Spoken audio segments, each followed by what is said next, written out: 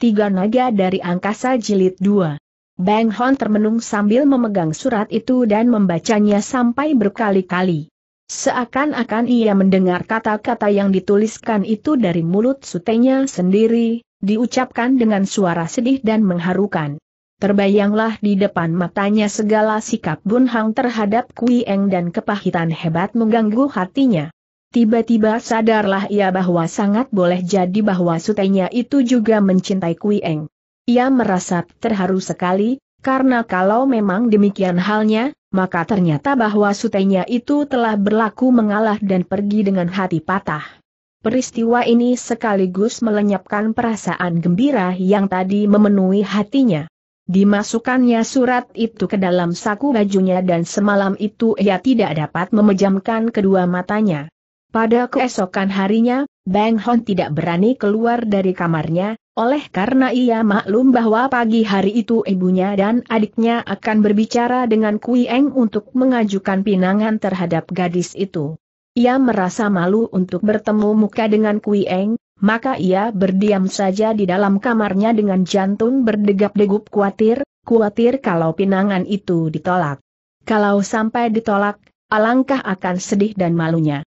Sementara itu, benar saja seperti dugaannya, Siok Tian Niko menyuruh anak gadisnya mengajak Kui Eng memasuki kamarnya dan setelah mereka berhadapan, Siok Tian Niko lalu mengajukan pinangannya dengan suara yang halus. Nona Kui Eng, sebelum Pini melanjutkan pembicaraan ini harap. Nona Kui Eng, sebelum Pini melanjutkan pembicaraan ini harap Kasuka memaafkan kami. Pini telah mengadakan pembicaraan yang sungguh-sungguh dengan putraku Beng Hon dan karenanya Pini mengetahui sampai jelas hubunganmu yang amat baik dengan dia sebagai saudara seperguruan. Setelah mendengar semua itu dan melihat kau, Nona, timbullah keinginan dalam hati Pini untuk lebih mempererat hubungan itu menjadi hubungan keluarga. Terus terang saya, Nona, Kui Eng, Pini ingin sekali menjodohkan Beng Hon dengan kau, dan apabila kau tidak merasa keberatan, Pini akan merasa amat berbahagia dan bersyukur kepada Tian Yang Maha Agung untuk mempunyai seorang menantu seperti kau. Mendengar ucapan itu, sejak tadi seluruh muka Kui Eng telah berubah merah dan ia menundukkan kepalanya. Tak terasa pula air mata mengalir turun membasahi pipinya dan Beng Lian yang duduk di dekatnya, lalu memeluknya dengan mesra. Sampai lama Kui Eng tak dapat mengucapkan jawaban, dan ia berusaha keras untuk menekan gelora hatinya yang membuat dadanya naik turun dan napasnya tersengal. Kemudian sambil mengeringkan air matanya dengan sapu tangannya, ia menyawab dengan perlahan. Sutai, mohon dimaafkan sebanyaknya. Saya merasa terharu sekali dan menghaturkan banyak terima kasih atas budi kecintaan hati Suta yang telah memberi penghormatan besar sekali kepada saya yang bodoh dan tak berharga. Akan tetapi, pada waktu ini, selain saya belum mempunyai pikiran sama sekali tentang persoalan kawin, juga saya harus terlebih dulu mencari ibu saya dan kemudian tentang soal perjodohan, terserah kepada orang tua itu, biarpun hatinya merasa kecewa, namun Syok Tian Niko mengangguk sambil tersenyum ramah dan berkata, Memang seharusnya demikian, Nona. Pini juga telah mendengar dari Beng Hon tentang peristiwa dan malapetaka yang menimpa keluargamu, seperti juga yang telah menimpa keluarga kami. Biarlah kau mencari ibumu lebih dulu, kemudian Pini hendak mengulangi pinangan ini kepada ibumu. Maafkan saya, Sutai. Bukan sekali-kali saya menolak kehendak Sutai yang mengandung maksud baik itu, akan tetapi harap saja hal ini dilupakan dulu. Saya tidak berani menerima atau mengadakan janji sesuatu oleh karena sesungguhnya saya belum ingin mengikat diri dengan perjodohan. Maaf, Sutai, Siok Niko menarik napas panjang. Kasehan Beng Hon pikirnya oleh karena dari jawaban ini walaupun tidak secara langsung merupakan penolakan, namun sedikitnya membayangkan perasaan gadis itu yang masih ragu dan tidak meyakinkan orang, yang berarti bahwa pada saat sekarang gadis itu belum mempunyai perasaan cinta terhadap Beng Han. Kalau begitu, lupakanlah saja semua ucapanku tadi, Nona. Dan kalau kelak kau telah bertemu kembali dengan ibumu, baru kita bicarakan hal ini lebih lanjut Kui Eng lalu mengundurkan diri dari hadapan Shok Tian Niko dan ia duduk termenung di dalam kamarnya. Beng Lian masuk dan segera memegang tangannya. Cici, jangan kau menyesal. Maafkan ibuku kalau kau anggap dia terlalu lancang. Ah, tidak, adik Lian. Sama sekali tidak. Bahkan aku merasa menyesal sekali bahwa terpaksa aku belum dapat memberi keputusan hingga setidaknya aku telah membuat kalian kecewa betapapun juga sebagai adik Bieng Hon, ada sedikit rasa tak puas dan kecewa yang mengandung penasaran dalam hati Beng Lian karena ia pun dapat merasa bahwa jawaban Kui Eng terhadap pinangan ibunya merupakan penolakan halus. Maka, tanpa disengaja, terdorong oleh rasa kecewanya, ia berkata, Cici Eng, cinta hati seseorang tak dapat dipaksakan. Aku tahu bahwa kau tidak mencintai kakakku kalau dibandingkan, Eng Kohon kalah tampan. Kui Eng terkejut dan merenggutkan lengannya yang dipegang Beng Lian sambil memandang dengan mata terbelalak. Apa?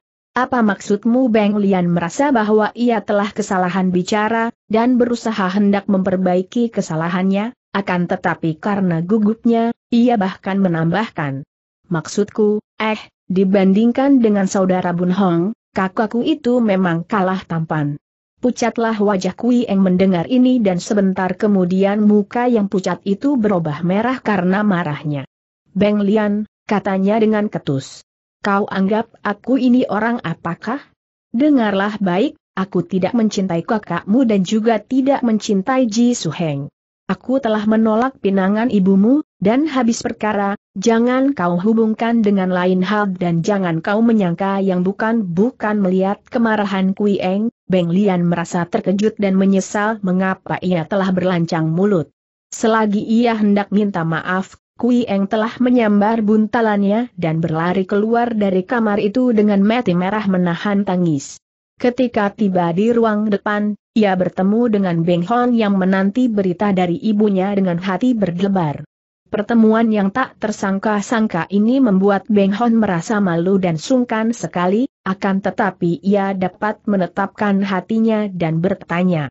Sumoy, apakah malam tadi kau dapat enak tidur akan tetapi, ia terkejut sekali ketika melihat wajah Kui Eng yang nampak marah. Eh, Sumoy, kenapakah kau hatinya menjadi kecut dan perasaannya tak enak sekali? Tw Asuheng, kata Kui Eng sambil cepat menghapus dua butir air mata yang memaksa turun dari pelupuk matanya. Aku pergi dulu, hendak mencari ibuku. Maafkan bahwa terpaksa aku memisahkan diri dari kau dan Ji Suheng, bukan main terkejut hati Beng Hon mendengar ucapan ini. Kedua matanya terbelalak dan ia berkata gagap. Akan tetapi, Sumoy, ke mana kau hendak pergi? Entahlah, ke mana saya kedua kakiku membawaku. Pokoknya, aku hendak mencari ibuku, Bang Hon menghela napas panjang. Sumoy, kalau keputusanmu memisahkan diri ini karena, karena pinangan ibuku kepadamu, maafkanlah aku, Sumoy. Kelancanganku mengajukan pinangan ini telah kutebus mahal. Sute telah meninggalkan aku, Apakah sekarang kau pun hendak meninggalkan aku pula Kui Eng mengangkat muka memandang. Ji Suheng meninggalkan kau. Ke manakah perginya? Tanyanya heran. Bang Hon hanya menarik napas panjang lalu menyerahkan surat Bun Hang itu kepada Sumoinya. Merahlah wajah Kui Eng membaca pemberian selamat Bun Hang kepada Beng Hon atas pertunangannya dengan dia timbul rasa kasihan di dalam hatinya kepada Tewe Asuhengnya ini, maka katanya perlahan. Suheng, percayalah bahwa aku tetap menghormati dan menganggap kau sebagai kakak sendiri. Biarlah kita bertemu lagi di lain waktu setelah berkata demikian, ia lalu mengembalikan surat itu, menjura kepada suhengnya, dan berlari dari kelenteng Kuan Imbio dengan cepat. Bang Hon segera lari masuk menjumpai ibunya dengan hati tidak enak. Ketika ibunya menceritakan kepadanya tentang jawaban semuanya, pemuda ini hanya menundukkan mukanya dengan kedukaan yang disembunyikan. Dari jawaban ini dan juga dari ucapan semuanya ketika hendak pergi, ia maklum bahwa perasaan cinta kasihnya tidak terbalas. Siok Tian Niko dan Beng Lian juga merasa heran ketika mendengar bahwa diam-diam Bun Hang telah pergi. Beng Hon tidak memperlihatkan surat itu kepada ibu dan adiknya, hanya berkata, Memang Bun Hang Sute mempunyai adat yang aneh. Aku amat menguatirkan keadaannya, karena ia memiliki watak yang keras. Kalau ia dibiarkan seorang diri di kota raja, ia tentu akan menemui bahaya. Maka, sekarang juga aku harus menyusulnya, ibu, untuk membantu dan membelanya kalau ada bahaya mengancam dirinya. Siok Tian Niko tak dapat mencegah maksud putranya itu karena ia juga menganggap bahwa sudah seharusnya Beng Hon menjaga dan membantu sutenya. Beng Hon, pergilah dan lakukan tugasmu sebagai seorang ksatria, akan tetapi, tentang urusanmu dengan Kui Eng, janganlah kiranya hal ini mematahkan hatimu, nak. Bersabarlah sampai gadis itu bertemu dengan ibunya, baru aku hendak mengajukan pinangan pula. Alangkah baiknya kalau kau juga bantu mencarikan ibunya dan mempertemukan gadis itu dengan ibunya, demikianlah pesan Shok Tian Niko kepada putranya. Bang Hon menyatakan hendak mentaati pesan ibunya itu. Kemudian ia berkemas dan berangkat meninggalkan kuil Kuan Im Blio. Ketika ia tiba di luar kota Angkian, tiba terdengar suara panggilan di belakangnya. Ketika ia berpaling, ternyata adiknya, Beng Lian, mendatangi dengan berlari cepat sekali. Setelah berhadapan, Beng Hon memandang dengan heran, karena ternyata bahwa adiknya itu menangis dengan sedihnya. Eh, eh, Lian Moi, mengapakah kau? Apakah kau menangis karena kepergianku ini? Ah, jangan menjadi anak kecil, adikku Beng Lian menggelengkan kepalanya sebagai sangkalan atas dugaan kakaknya ini, dan tangisnya makin mengeras. Beng Hon memegang pundak adiknya. Lian Moi, berlakulah tenang, adikku. Sebenarnya, apakah yang terjadi dengan dirimu Honko, aku, aku telah berdosa kepadamu. Eh, apa kau mengigau? Dosa apa yang kau lakukan? Tanya Beng Hon sambil tersenyum dan memandang heran. Aku, akulah yang telah membuat Tem Eng marah dan pergi meninggalkan kau hektometer, apakah yang telah kau lakukan? Aku, aku merasa kecewa dan menyesal karena ia menolak pinangan ibu, lalu, lalu ku katakan kepadanya bahwa ia tidak mencinta padamu dan, dan, ku bayangkan bahwa ia mencintai, Jisuhengnya, kemudian dengan suara terputus-putus. Beng Lian menceritakan semua pembicaraan yang dilakukannya dengan Kui Eng. Beng Hon menggelengkan kepalanya dan menarik napas panjang. Adikku, kau memang telah berlaku keterlaluan dan lancang. Akan tetapi, dugaanmu bahwa dia tidak mencinta padaku itu memang tepat.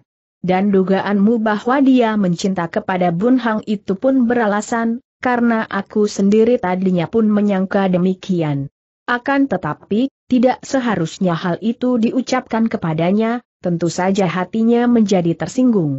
Biarlah, yang sudah terjadi biarlah berlalu, nanti kalau aku dapat bertemu dengan dia, aku yang akan memintakan maaf untukmu.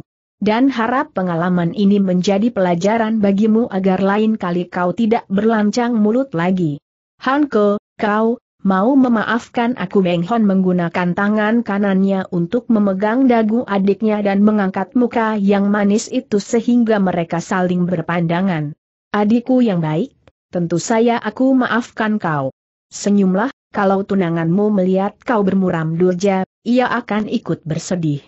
Jagalah ibu dengan baik, adikku, setelah berkata demikian, Bang Hon lalu melanjutkan perjalanannya dengan cepat dan Bang Lian berdiri memandang dengan air mata berlinang sampai kakaknya itu lenyap dari pandangan matanya. Ketika tiba di kota raja, Bun Hang lalu mencari keterangan tentang keadaan pemerintah. Ia melihat betapa keadaan di kota raja jauh berbeda dengan keadaan di dusun. Kalau di dusun ia melihat segala macam penderitaan dan kemiskinan, tetapi di kota raja penuh dengan kemewahan dan kesenangan. Rumah gedung yang tinggi besar dan megah mendatangkan pemandangan yang amat jauh bedanya dengan pondok-pondok bobrok di dusun-dusun. Pakaian orang di kota raja indah-indah beraneka warna, berbeda sekali dengan pakaian para petani yang compang-camping dan tambalan di banyak tempat. Kalau di dusun ia telah merupakan seorang pemuda yang gagah dan berpakaian indah, hingga banyak mata memandangnya dengan kagum dan iri, setelah tiba di kota raja, Bun Hang merasa betapa pakaiannya terburuk dan tak seorang pun memperhatikannya.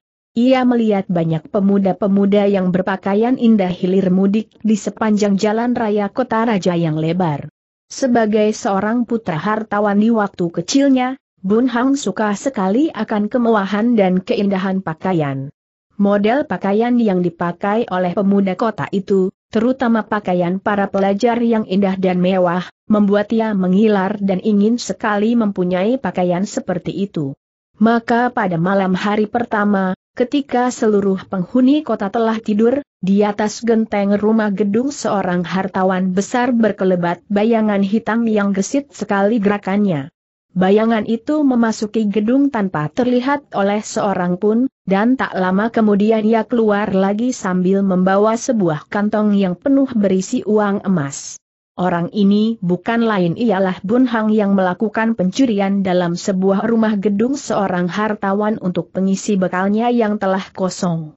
Memang sudah menjadi kebiasaan orang-orang Kang Owo untuk mencuri uang para hartawan yang disebutnya meminjam, akan tetapi, biasanya seorang Kang Ou hanya mengambil uang sekadar bekal saja, yakni untuk biaya perjalanannya melakukan tugas menolong orang-orang yang dilanda kesusahan.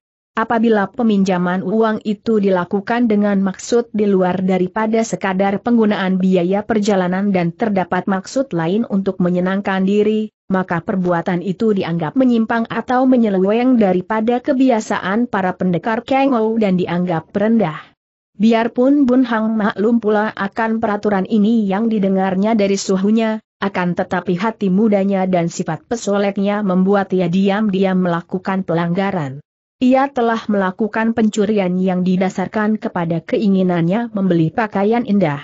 Dengan mudah saja ia berhasil mengambil sekantong uang emas dari tumpukan harta orang kaya itu. Agaknya si kaya itu takkan merasa bahwa tumpukan kantong-kantong uangnya telah berkurang satu. Demikian banyaknya kantong-kantong uang yang berada dalam kamarnya. Pada keesokan harinya, Bun Hang telah bersalin rupa. Ia telah berubah menjadi seorang pemuda pelajar yang berpakaian indah, terbuat dari sutra berwarna biru bersulamkan benang emas dan renda-renda berwarna kuning di lehernya. Wajahnya yang memang tampan itu bertambah cakap. Ia menyembunyikan pedangnya di bawah jubahnya yang lebar dan sebagai gantinya, tangan kirinya memegang sebuah kipas bulu yang indah dan mahal. Biarpun hatinya terpikat oleh kemewahan dan keindahan di kota raja yang besar dan ramai itu, namun Bun Hang masih belum melupakan maksudnya semula datang di kota raja itu.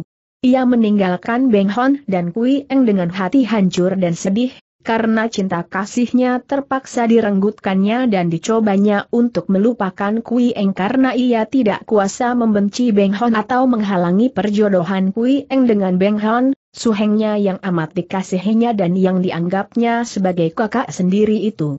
Maka untuk melupakan kesedihan dan kekecewaan hatinya, ia mengambil keputusan untuk melanjutkan usaha mereka bertiga semula, yakni hendak membasmi kekejaman peraturan pemungutan pajak bagi para petani itu.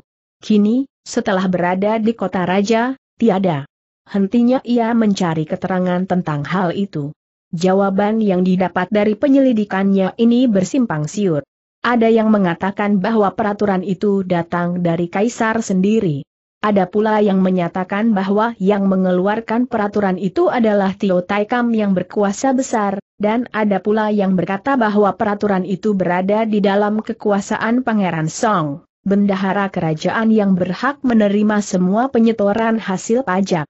Bun Hang tidak berani bertindak dengan sembrono, karena telah dilihatnya betapa penjagaan yang dilakukan di tiap gedung pembesar tinggi di kota raja amat kuatnya.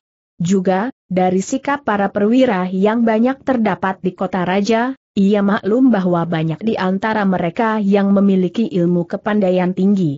Ia harus bersabar, mempelajari keadaan dengan baik dan berlaku hati-hati, agar jangan sampai usahanya gagal sebelum dimulai. Apalagi ia merasa suka dan betah tinggal di kota raja yang ramai dan banyak pemandangannya itu.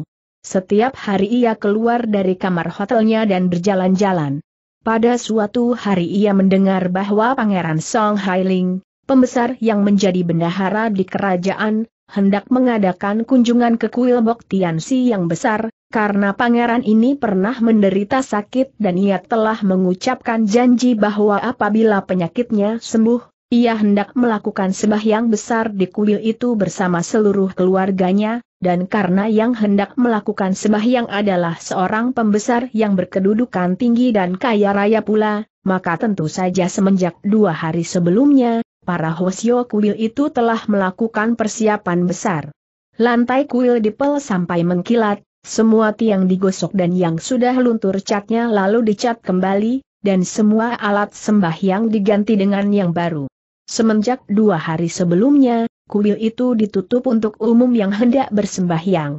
Untuk meramaikan perayaan ini, Pangeran Song Hailing mendatangkan serombongan pemain sandiwara klasik yang memainkan cerita tentang Buong, raja besar yang amat dipuja di seluruh Tiongkok oleh karena kebijaksanaannya, bahkan di dalam kuil itu pun terdapat patung raja besar ini.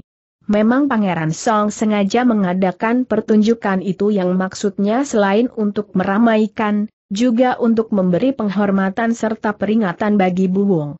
Maka tidak heran apabila semenjak pagi sebelum sembahyang besar dimulai, orang telah memenuhi halaman kuil yang lebar untuk menonton sandiwara, dan sebagian pula untuk menonton keluarga orang besar itu, karena mereka telah mendengar bahwa selain mempunyai banyak selir yang cantik, Pangeran Song juga mempunyai dua orang anak perempuan yang telah remaja puteri dan yang kabarnya luar biasa cantiknya, tak kalah oleh kecantikan bidadari dari sorga ketujuh. Mendengar tentang kunjungan Pangeran Song yang merupakan seorang di antara mereka yang hendak diselidikinya, Bun Hang segera ikut datang ke kuil itu dan mencampurkan diri dengan para penonton yang berjubelan di luar kuil. Dengan sepasang lengannya yang kuat, dengan mudah Bun Hang mencari jalan dan sebentar saya ia telah berhasil menerobos ke sebelah depan dan berdiri di baris terdepan, dekat pagar yang mengelilingi ruang depan kuil itu, di mana telah dipasang meja sembahyang yang besar dan yang bertilamkan sutra bersulam benang emas. Tak lama kemudian terdengarlah bentakan dan beberapa orang penjaga yang memegang cambuk telah mencari jalan dan mencambuki para penonton yang menghadang di jalan. Minggir, minggir. Buka jalan untuk rombongan Song Taijin kelompok orang yang menonton terkuak ke kanan kiri dan dengan cepat jalan yang menuju ke pintu masuk kuil itu terbuka. Barisan pengawal dengan golok telanjang, terdiri dari belasan orang tinggi besar, dengan tindakan gagah mendahului dan masuk ke dalam halaman depan, lalu terpecah menjadi dua rombongan yang berdiri berderet menjaga di kanan kiri jalan bunyi roda kendaraan terdengar berhenti di depan kuil dan turunlah rombongan. Orang besar itu. Semua orang segera membungkukan tubuh untuk menghormati seorang laki-laki berusia kurang lebih 45 tahun yang berjalan dengan tenang dan mengebut-ngebutkan kipasnya. Ia memandang ke kanan kiri sambil menganggukkan kepala sebagai pembalasan hormat yang diberikan kepadanya oleh para penonton itu. Bun Hang membuka mata lebar dan dengan penuh perhatian ia memandang kepada pembesar itu. Ia melihat muka pembesar itu menandakan bahwa ia adalah seorang yang peramah dan tidak kejam, bahkan selalu memandang dengan mata berseri dan mulut tersenyum. Sorot matanya menunjukkan bahwa ia telah memiliki banyak pengalaman hidup dan dari pandang matanya orang mendapat perasaan bahwa pangeran ini selalu menganggap bahwa ia memiliki pengalaman dan pengertian yang lebih tinggi daripada orang lain. Tubuhnya sedang agak pendek dan langkah kakinya tenang dan pendek. Timbul keraguan di dalam hati Bun Hang karena ia tidak melihat sinar kekejaman di wajah orang ini. Kemudian menyusul serombongan wanita yang cantik, mengikuti seorang wanita setengah tua yang juga menerima penghormatan dari semua orang. Ini adalah Song Hujan dan para selir yang masih muda dan cantik. Nyonya Song ini sikapnya lemah lembut dan jelas memperlihatkan keagungannya sebagai seorang bangsawan tinggi, sedangkan para selir berpakaian indah dan bersikap gembira, akan tetapi jelas nampak kegenitan mati mereka ketika sambil melewat mereka melemparkan kerling mati yang liar dan tajam ke kanan kiri, di mana banyak terdapat pemuda-pemuda yang tampan dan gagah. Kemudian, datanglah orang yang dinanti oleh sekalian pemuda yang memerlukan datang hanya untuk memandang kepada dua orang ini. Mereka adalah dua orang gadis remaja yang berusia paling banyak antara 15 sampai 17 tahun. Keduanya sama cantik jelita, berjalan dengan lemah lembut. Berbeda dengan para selir ayah mereka kedua anak perempuan ini berjalan dengan malu ketika mereka merasa betapa banyak mata ditujukan ke arah mereka. Mereka berbisik dan berjalan dengan muka ditundukkan. Gadis yang lebih tua bertubuh tinggi ramping dengan muka berdagu tajam dan sepasang matanya lebar dan tajam bagaikan mata burung hong. Kulit mukanya halus putih kemerahan, bedak dan gincunya tipis dan sepasang alisnya melengkung dengan ujung yang tajam dan berwarna hitam sekali, menambahkan kemanisannya. Yang lebih muda juga cantik jelita, akan tetapi mukanya bundar dan sepasang matanya kocak sedangkan bibirnya yang berbentuk indah itu selalu tersenyum riang, menandakan bahwa ia adalah seorang gadis yang berwatak gembira. Setelah semua rombongan masuk ke dalam kelenteng, maka meja sembahyang lalu diatur dengan baiknya oleh para hwasyo, ayam dan bebek yang masih utuh dan sudah matang, ditaruh di atas piring dan diatur di atas meja sembahyang. Melihat ayam dan bebek yang tak berverbulu lagi dan yang kulitnya nampak kekuningan dan gemuk itu, membuat para penonton menjadi mengilar.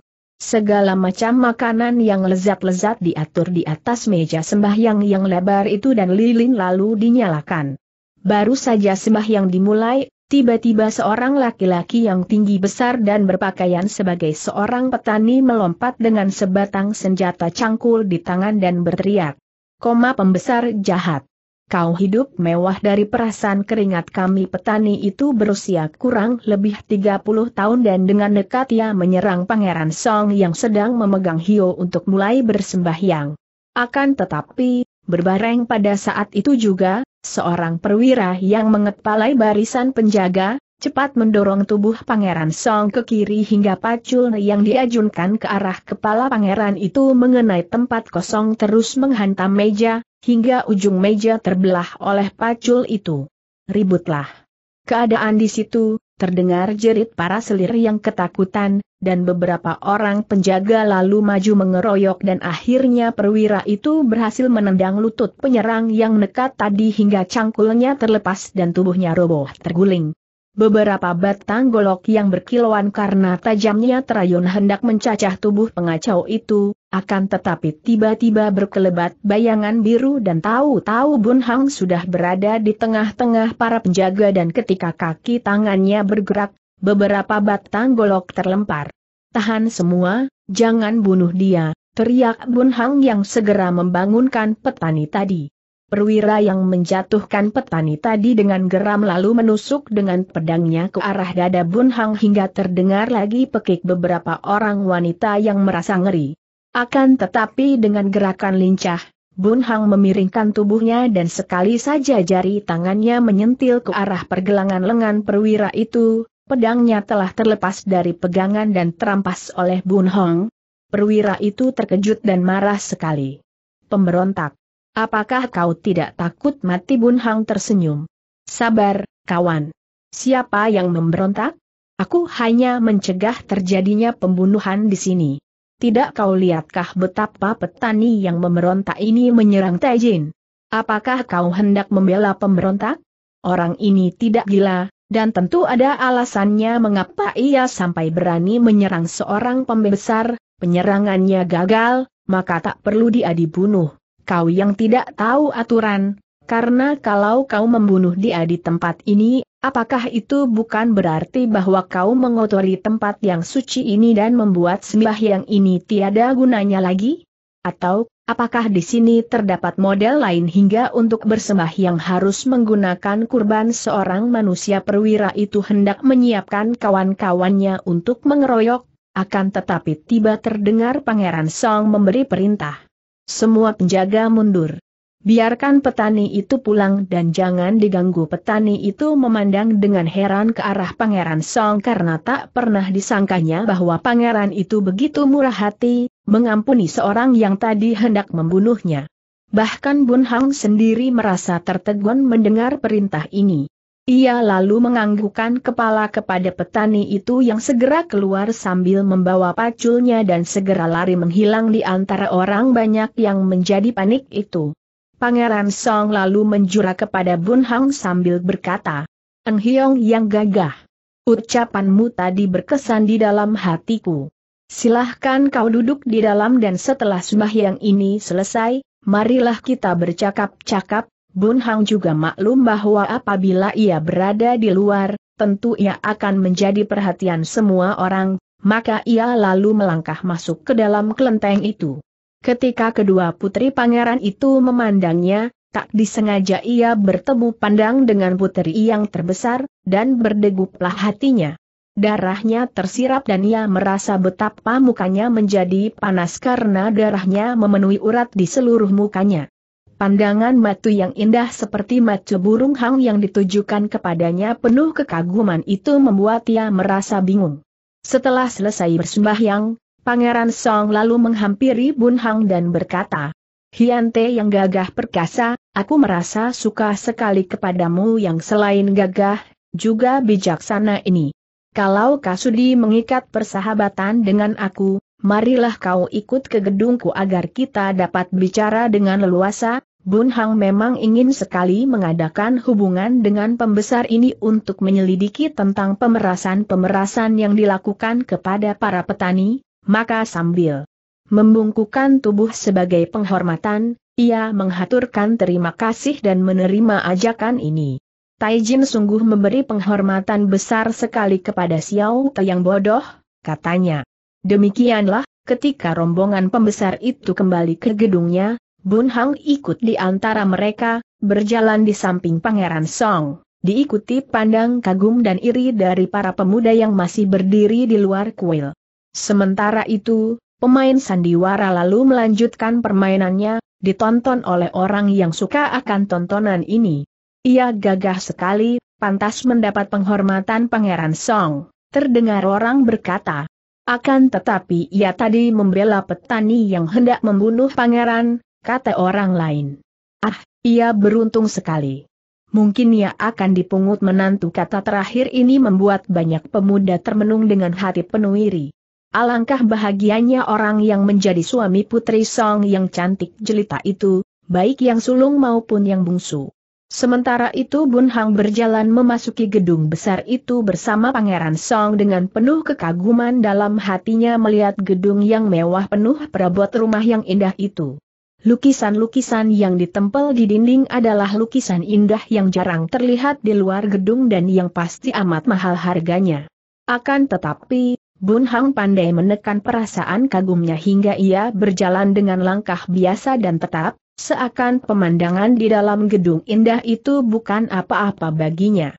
Sebetulnya, kalau saja tidak melihat Bun Hang yang selain tampan dan gagah, tapi juga dalam segebrakan saja dapat merampas pedang perwira yang melindungi keselamatannya, mungkin Pangeran Song akan membiarkan saja petani yang tadi menyerangnya itu dibunuh oleh para penjaga, oleh karena memang hal itu sudah sepatutnya. Akan tetapi, ketika melihat Bun Hong, ia merasa amat kagum dan tertarik serta timbul di dalam hatinya suatu maksud yang amat baik. Ia maklum bahwa pada dewasa itu, terdapat gejala akan timbulnya pemberontakan, maka sebagai seorang pembesar tinggi, tentu terdapat banyak bahaya dari orang yang hendak membunuhnya karena menganggap ia kejam dan sewenang-wenang. Sekarang terdapat seorang pemuda yang demikian gagahnya, maka kalau saja ia dapat menarik tangan Bun Hang untuk berdiri di pihaknya, setidaknya keselamatannya akan lebih terjamin. Memang Pangeran Song ini terkenal amat cerdiknya. Tentu saja ia tidak tahu bahwa justru pemuda ini mempunyai maksud untuk membasmi para penindas petani. Setelah mempersilahkan pemuda itu duduk di atas sebuah kursi berukir yang indah dan memerintahkan para pelayan untuk menghidangkan masakan lezat dan arak wangi, ia lalu bertanya, Hyante, kau datang dari manakah dan siapa namamu yang terhormat? Xiao Te bernama Tan Bun Hong, berasal dari Dusun Hang, Yan, kemudian dengan singkat Bun Hang menceritakan betapa seluruh keluarganya habis binasa oleh gerombolan pengacau yang memberontak ketika ia masih kecil.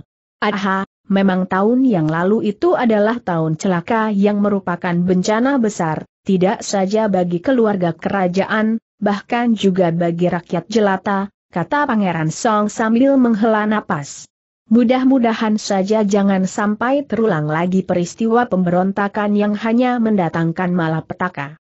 Taijin keamanan hidup yang penuh damai tidak saja diidamkan oleh kaisar dan keluarga kerajaan, akan tetapi bahkan menjadi cita-cita tiap orang manusia di negara kita ini, kata Bun Hang sambil memandang tajam.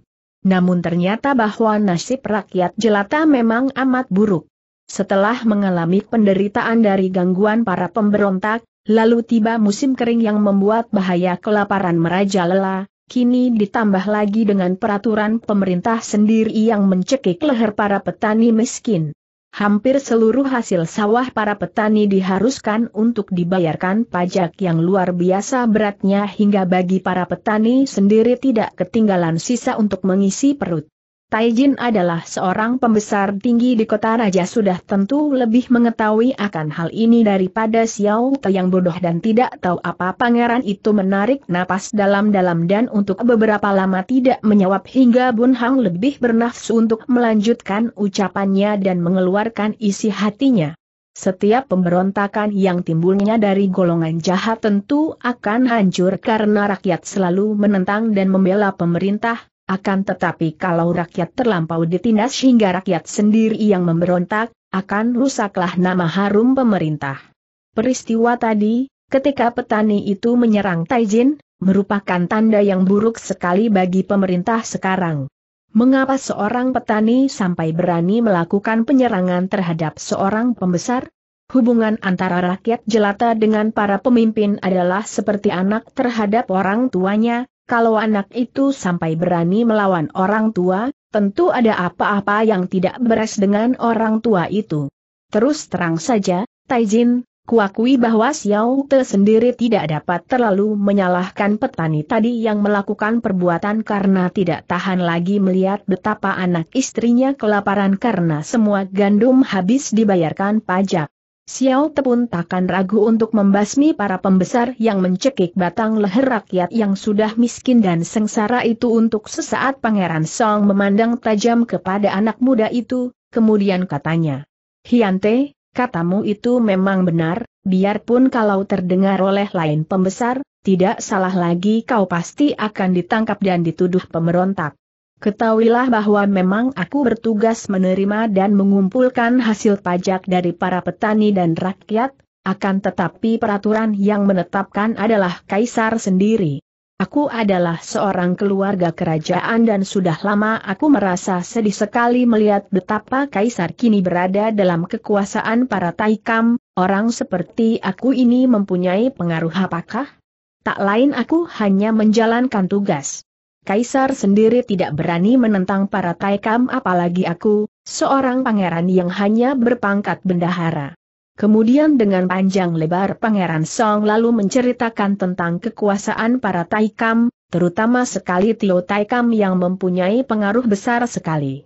Pangeran Song, seperti juga pembesar lain merasa benci kepada Tio Taikam walaupun mereka tidak berani memperlihatkan kebencian ini, oleh karena Fintai Kam yang menduduki tempat tinggi itu memandang rendah kepada semua pembesar dan pengaruhnya luas sekali akan tetapi, Tio Tai Kam mempunyai kekuasaan terhadap kaisar yang selalu menuruti kehendaknya.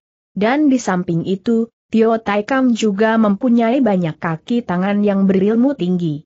Sebenarnya di luar taunya orang lain, Adanya kaisar amat takut dan tunduk kepada Tio Tai Kam Allah karena pembesar kebiri ini telah mempunyai hubungan dengan pemerintah Turki Barat yang disebut bangsa Sato.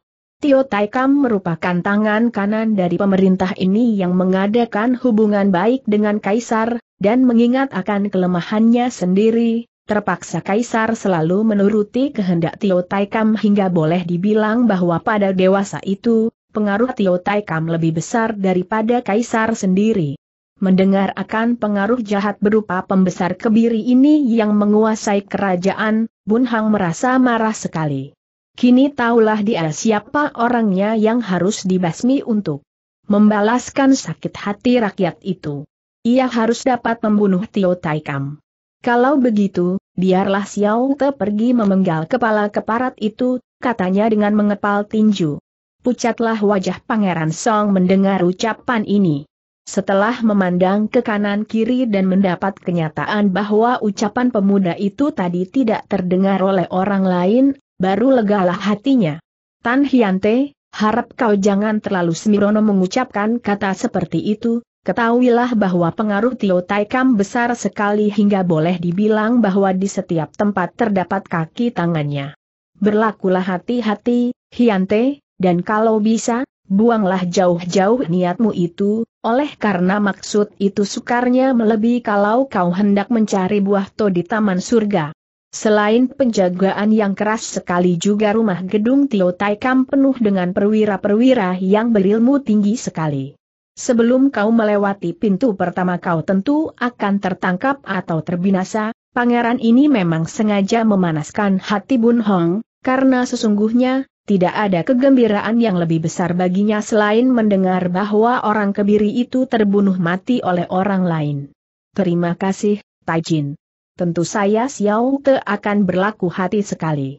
Sebenarnya, Xiao Te hanya menjalankan tugas sebagai seorang yang menjunjung tinggi keadilan, karena mengandalkan bantuan pembesar lain, agaknya takkan ada gunanya karena semua pembesar ternyata lebih mementingkan kesenangan mereka daripada memperhatikan penderitaan rakyat jelata. Merahlah wajah Pangeran Song mendengar ini. Anak muda, janganlah kau terlalu memandang rendah kepada kami. Terus terang saya, pernah aku mengajukan protes dan minta pengurangan tentang pemungutan pajak ini, akan tetapi apa hasilnya? Hampir saya aku mendapat bencana dari Tio Taikam kalau saya aku tidak mempergunakan banyak sekali uang emas untuk menyogok. Kalau tidak ada dia di samping Kaisar, percayalah, orang seperti aku ini tentu takkan membiarkan rakyat tercekik, dan pasti kami akan mengajukan surat permohonan agar peraturan itu dirubah, berserilah wajah Bun Hang mendengar ini. Kalau begitu, izinkanlah Xiao Te mengundurkan diri, Taijin dan dengarkan saja, tak lama lagi Taikam itu tentu takkan berada di samping Kaisar lagi Pangeran Song berdiri dan mengantar tamunya keluar.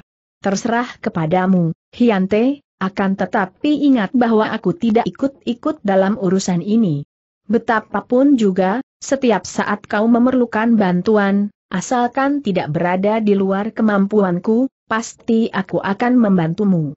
Bun Hang merasa girang sekali bahwa akhirnya ia bisa mendapat tahu siapa biang keladinya yang menelurkan peraturan pajak yang demikian mencekik leher para petani.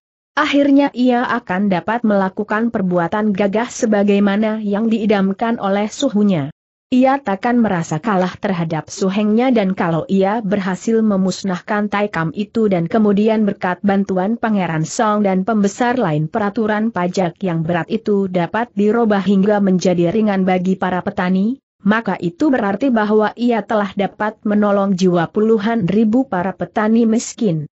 Untuk usaha seperti itu, biarpun harus mengorbankan nyawa, ia akan rela. Istana Tio Taikam menyambung dengan Istana Kaisar dan letaknya di sebelah belakang Istana Kaisar itu.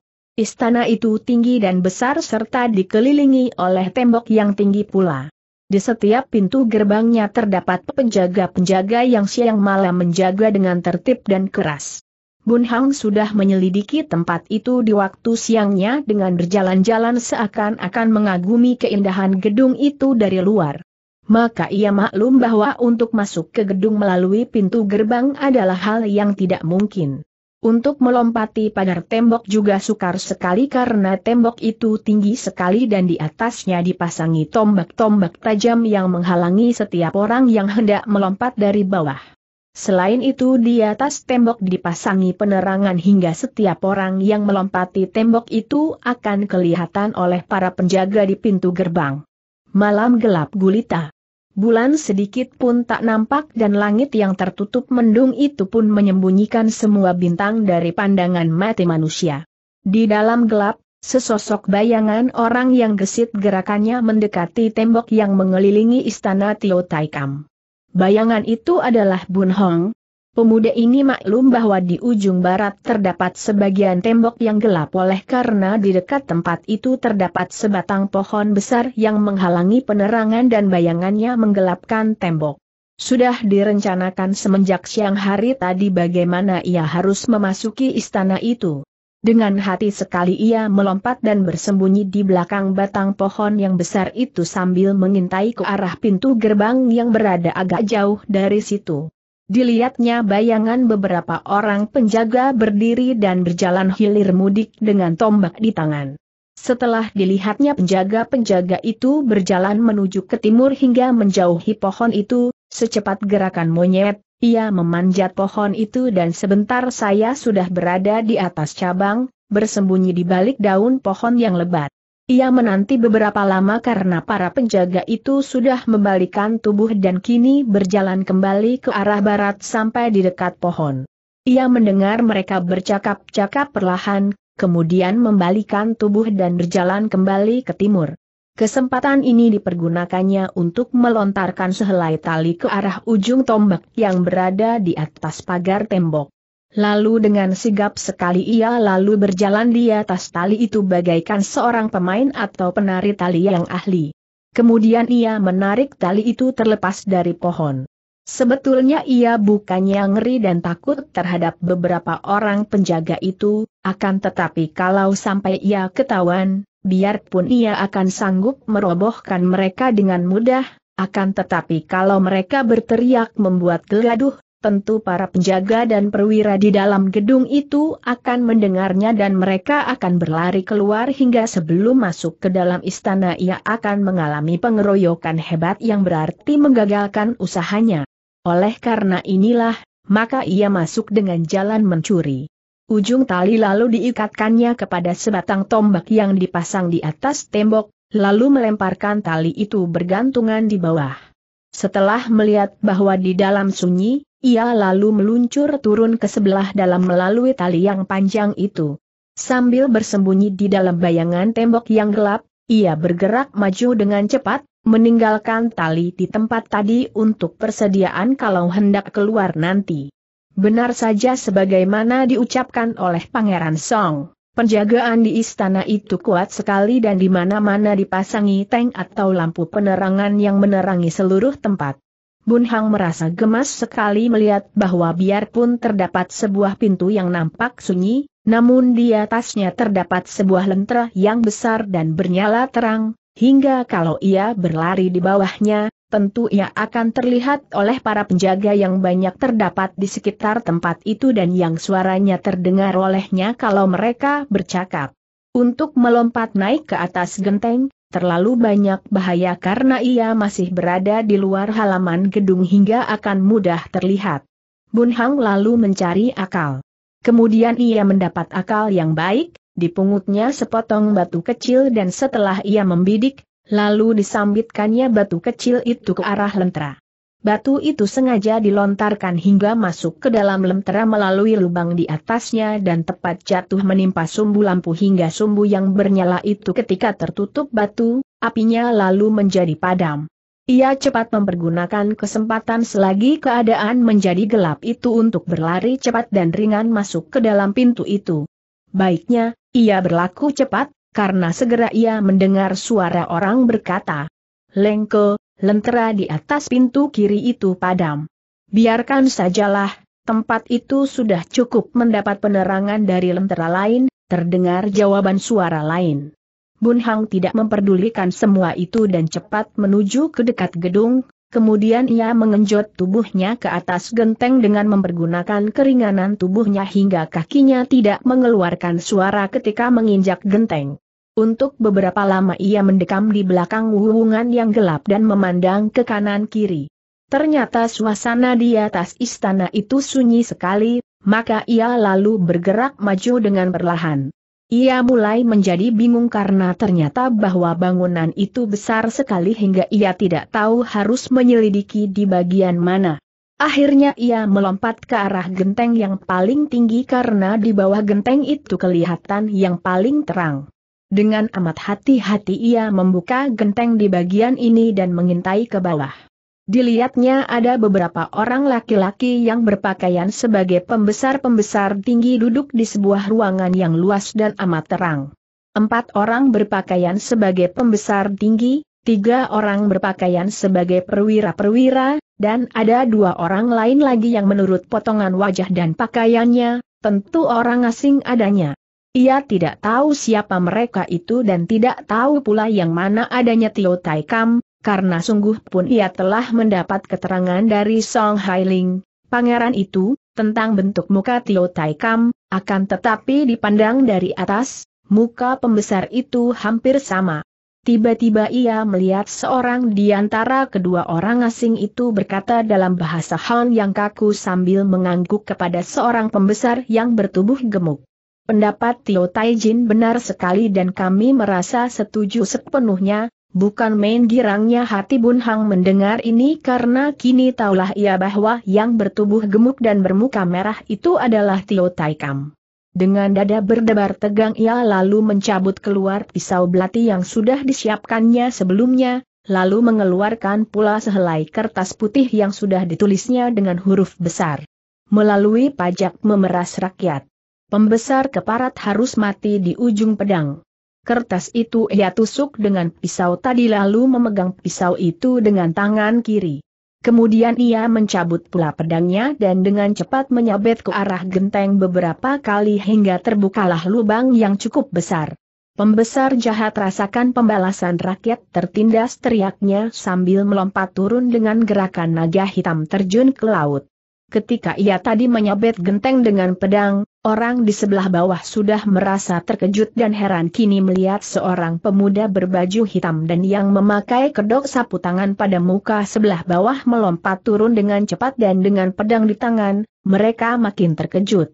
Tiga orang perwira tadi segera mencabut senjata masing-masing, bahkan dua orang asing yang duduk di situ juga mencabut golok mereka yang melengkung bentuknya. Ketika tubuh Bun Hang sudah tiba di bawah, Segera tiga orang perwira dan dua orang asing itu menerjangnya sambil memutar senjata mereka. Seorang perwira berseru.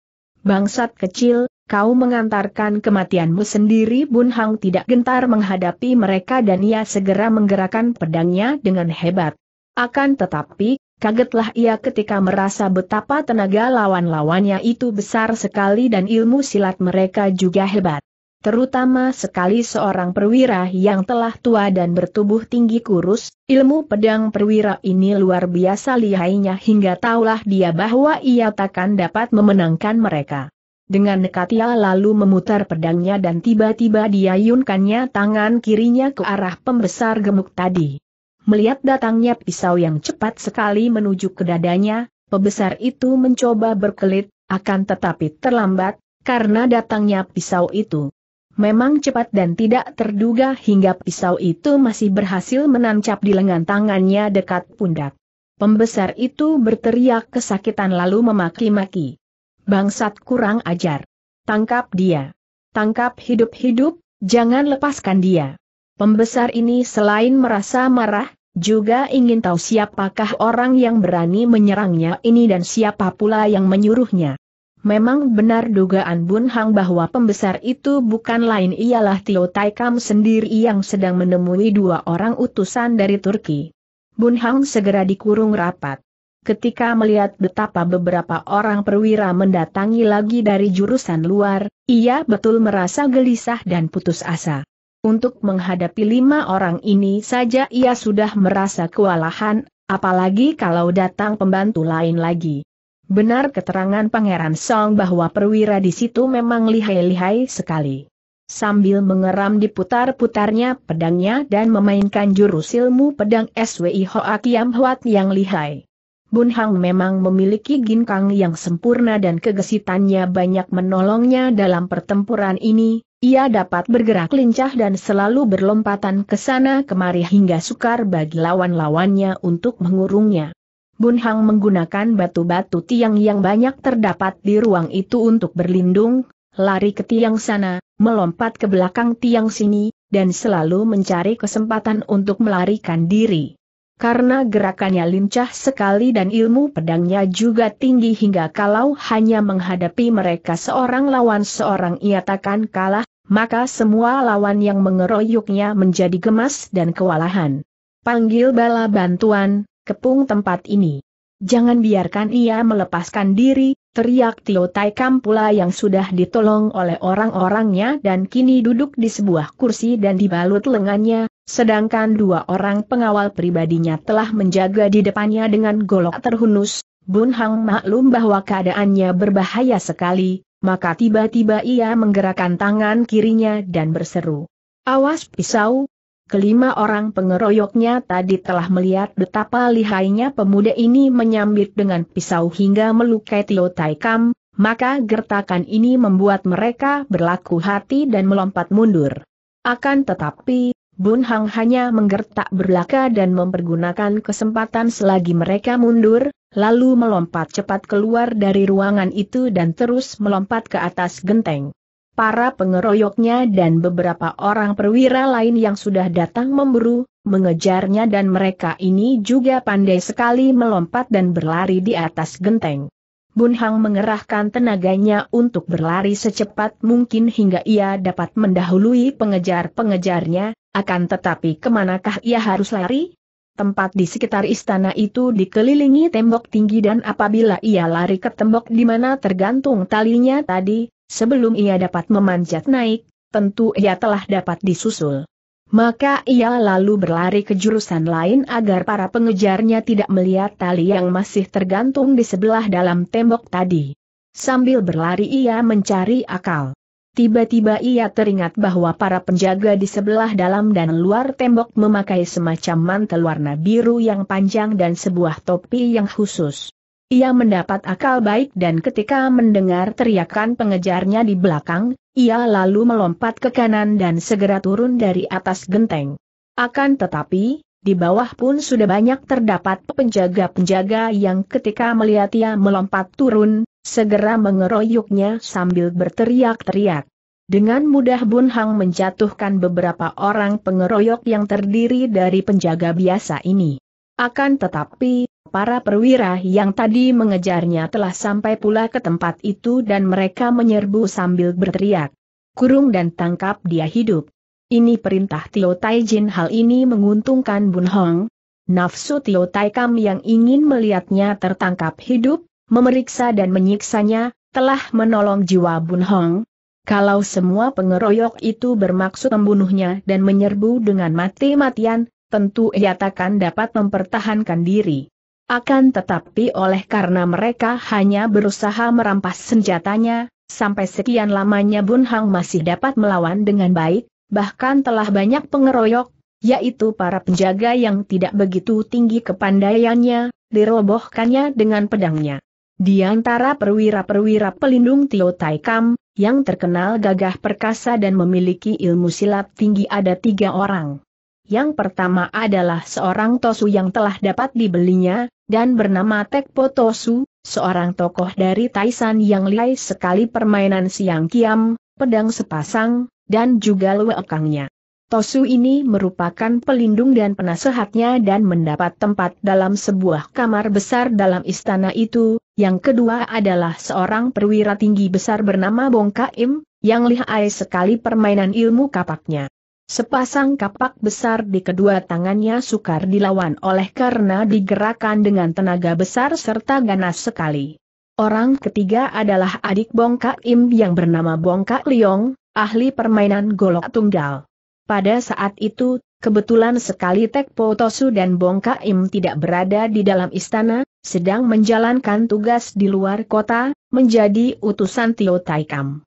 Hal ini amat menguntungkan Bun Hang oleh karena apabila seorang di antara kedua orang kosen ini berada di istana Taikam, tentu dengan mudah pemuda itu akan dirobohkan dan ditangkap. Kini yang menyerangnya dengan hebat hanya Bongkak Liong, perwira tinggi kurus yang memainkan golok secara luar biasa sekali. Di antara semua pengeroyoknya, hanya perwira tinggi kurus ini yang merepotkan Bun Hong, karena gerakan goloknya memang hebat sekali dan pemuda itu terpaksa mengerahkan seluruh tenaga dan kepandaiannya untuk menjaga diri. Kalau dia bertempur melawan Bongkak Liong seorang, belum tentu ia akan kalah, akan tetapi oleh karena selain perwira itu, masih banyak pula perwira lain yang juga memiliki ilmu kepandaian cukup tinggi, maka keadaan Bun Hang benar terjepit. Pada saat ia mengerahkan tenaga menyerang bongkak liong yang mengurungnya dengan sinar goloknya yang bergulung, tiba-tiba perwira itu mengeluarkan suara bentakan keras dan menggunakan goloknya untuk menangkis dengan sekerasnya, dibarengi dengan tendangan Soan Hang TWI yakni tendangan angin berputaran yang berbahaya sekali. Bun Hang menjadi terkejut sekali oleh karena pada saat itu, dua batang pedang perwira lain sedang membacok ke arah kakinya. Ia dapat mengelakkan diri dari tendangan kaki bongkak liong dan bacokan pedang pada kakinya, akan tetapi tangkisan golok yang keras itu membuat pedangnya terlepas dan terlempar dari pegangannya. Ternyata bahwa karena bertempur terlalu lama dan lelah sekali menghadapi sekian banyak pengeroyok, telapak tangan Bun Hang mengeluarkan peluh hingga gagang pedangnya yang basah menjadi licin sekali. Ketika pedangnya terlepas, Bun Hang menghadapi tendangan Soahang Tewe yang masih diluncurkan. Tendangan ini dilakukan oleh kedua kaki yang susul menyusul, hingga pemuda itu segera menggerakkan tubuhnya dalam gerakan Jiao Po Poan Soan, yakni bertindak berputar-putar dengan gesitnya menghindarkan diri dari tendangan lawan itu. Gerakannya cepat dan indah hingga perwira tinggi kurus itu mengeluarkan seruan kagum melihat bahwa kalau terus mengadakan perlawanan, ia pasti akan tertawan, maka Bun Hang lalu berseru keras dan berhasil menangkap seorang perwira yang diputar dan digunakan sebagai perisai. Tentu saja para pengeroyoknya cepat menarik kembali senjata mereka agar tidak melukai kawan sendiri. Bun Hang mempergunakan kesempatan itu untuk mundur dan ia lalu melemparkan tubuh perwira itu ke arah pengeroyoknya. Setelah itu, ia lalu melompat naik ke atas genteng pula, yang segera dikejar oleh para perwira, dikepalai oleh Bongkak Liong. Kembali terjadi kejar mengejar di atas genteng dan Bun Hang mulai merasa amat lelah. Dengan cepat ia menuju ke sebelah kiri istana itu sambil memutar otaknya dengan cepat ketika melihat banyak penjaga yang bermantel biru dan bertopi lebar berkumpul di bawah genteng sambil berteriak memandang kepadanya, ia lalu melompat turun di tengah mereka. Cepat sekali kaki tangannya bergerak dan beberapa orang penjaga terjungkal. Ia bermaksud merampas sebuah pedang, akan tetapi tiba-tiba ia terikat akan akal yang hendak dipergunakannya, maka ia lalu menangkap seorang penjaga, menotok, iganya hingga tubuh penjaga itu menjadi lemas dan sambil memutar tubuh itu ia membuka jalan dan segera berlari menuju ke bagian barat gedung itu. Sambil berlari ia mengambil beberapa potong batu dan ketika lewat di bawah lentera, ia menyambit hingga kaca lentera menjadi pecah dan apinya padam. Beberapa kali ia memadamkan lentera hingga keadaan menjadi gelap. Cepat ia membawa tubuh penjaga itu ke tempat gelap, melepaskan mantel dan topi penjaga itu dan memakainya. Lalu ia berlari lagi menuju tembok di mana tergantung talinya tadi. Ia menarik napas lega melihat bahwa talinya masih berada di situ, dan cepat ia melompat dan memanjat tali itu naik ke atas. Sementara itu, para perwira yang mengejarnya sampai pula ke tempat para penjaga yang mengeroyoknya tadi dan mereka lalu beramai-ramai lari ke bagian barat. Ketika mereka melihat seorang penjaga memanjat tali, mereka berteriak-teriak. Mana bangsat itu Bun Hang tidak menjawab, bahkan memanjat makin cepat lagi. Seorang perwira memegang tali itu dan menggoyang-goyangnya hingga tubuh Bun Hang juga tergoyang-goyang di atas. Hi, di mana penjahat tadi? teriak perwira itu. Pada saat itu, tubuh Bun Hang sudah sampai di atas, tinggal beberapa kaki saja dari tombak yang terpasang di atas tembok, maka ia memberanikan hati dan menyawab. Dia lari melalui tali ini. Aku akan mengejarnya untung sekali bahwa tempat itu agak gelap, tertutup oleh bayangan pohon yang menjulang tinggi di atas tembok, hingga orang di bawah tidak melihat bahwa pakaiannya berbeda dengan pakaian penjaga yang tidak berapa kentara karena tertutup oleh mantel penjaga warna biru dan topi lebar yang dipakainya tadi. Para penjaga lalu menyerbu ke arah pintu hendak mencari penjahat itu di luar tembok. Sementara itu, Bun Hang sudah sampai di atas tembok dan cepat ia melompat ke cabang pohon, karena untuk menggunakan tali, hanya akan membuang waktu belaka. Gerak lompatannya ini mendatangkan curiga bagi para perwira. Bongkak Liong yang melihat gerakan itu, tahu bahwa mereka telah tertipu oleh karena tak mungkin ada seorang penjaga yang memiliki ginkang demikian tinggi. Kejar, serunya sambil berlari ke arah pintu gerbang. Dialah penjahatnya ketika rombongan perwira telah keluar dari pintu gerbang, Bun Hang telah berhasil melompat turun dari pohon dan setelah membuang mantel dan topi pinjaman itu, ia lalu melarikan diri secepatnya. Para perwira tetap mengejarnya, dan ketika Bun Hang melompat naik ke atas genteng, para perwira yang dikepalai oleh Bongkak Liong juga melompat naik dan terus mengejarnya. Pada waktu itu, bulan sudah muncul dan mendung sudah pergi tertiup angin hingga bayangan pemuda itu dapat terlihat menghitam di atas genteng, memudahkan para perwira untuk mengikuti jejaknya, Burhang menjadi gelisah sekali. Biarpun ia telah dapat meninggalkan para pengejarnya jauh di belakang, namun ia telah merasa lelah sekali. Kedua kakinya telah menjadi lemas dan kini ia tidak bersenjata lagi. Kalau ia kembali ke hotelnya, tentu mereka akan mengejar pula, dan untuk berlari keluar dari kota raja, adalah hal yang tak mungkin karena pintu gerbang kota terjaga keras. Dalam berlari-lari ini, tak terasa lagi ia telah tiba di atas genteng gedung besar Pangeran Song Hailing. Tiba-tiba timbul sebuah pikiran dalam otaknya. Pangeran itu adalah seorang yang baik hati dan juga mempunyai pengaruh, mengapa ia tidak menggunakan kesempatan itu untuk minta perlindungan kepadanya? Bukankah pangeran itu pernah menyatakan bahwa pembesar itu bersedia membantunya? Tanpa pikir panjang lagi karena ia benar telah merasa lelah, Bun Hang lalu melayang turun ke dalam gedung itu dan menggunakan tenaganya untuk membuka jendela kamar lalu melompat masuk ke dalam. Beberapa orang penjaga yang melihatnya lalu maju menubruk, akan tetapi ketika melihat Bun Hang yang dikenalnya sebagai sahabat Pangeran Song, mereka menjadi ragu-ragu. Dan pada saat itu muncullah Pangeran Song Hailing sendiri dari dalam. Kau, Tan Hiante, tanyanya dengan kaget. Taijin, sekaranglah waktunya kau harus menolongku kata Bun Hang dengan napas terengah-engah karena lelahnya dengan isyarat tangannya, pangeran itu menyuruh pergi penjaganya, kemudian ia bertanya dengan khawatir. Apakah yang terjadi, Hyante? Celaka, aku gagal membunuh keparat Siti itu, hanya berhasil melukainya.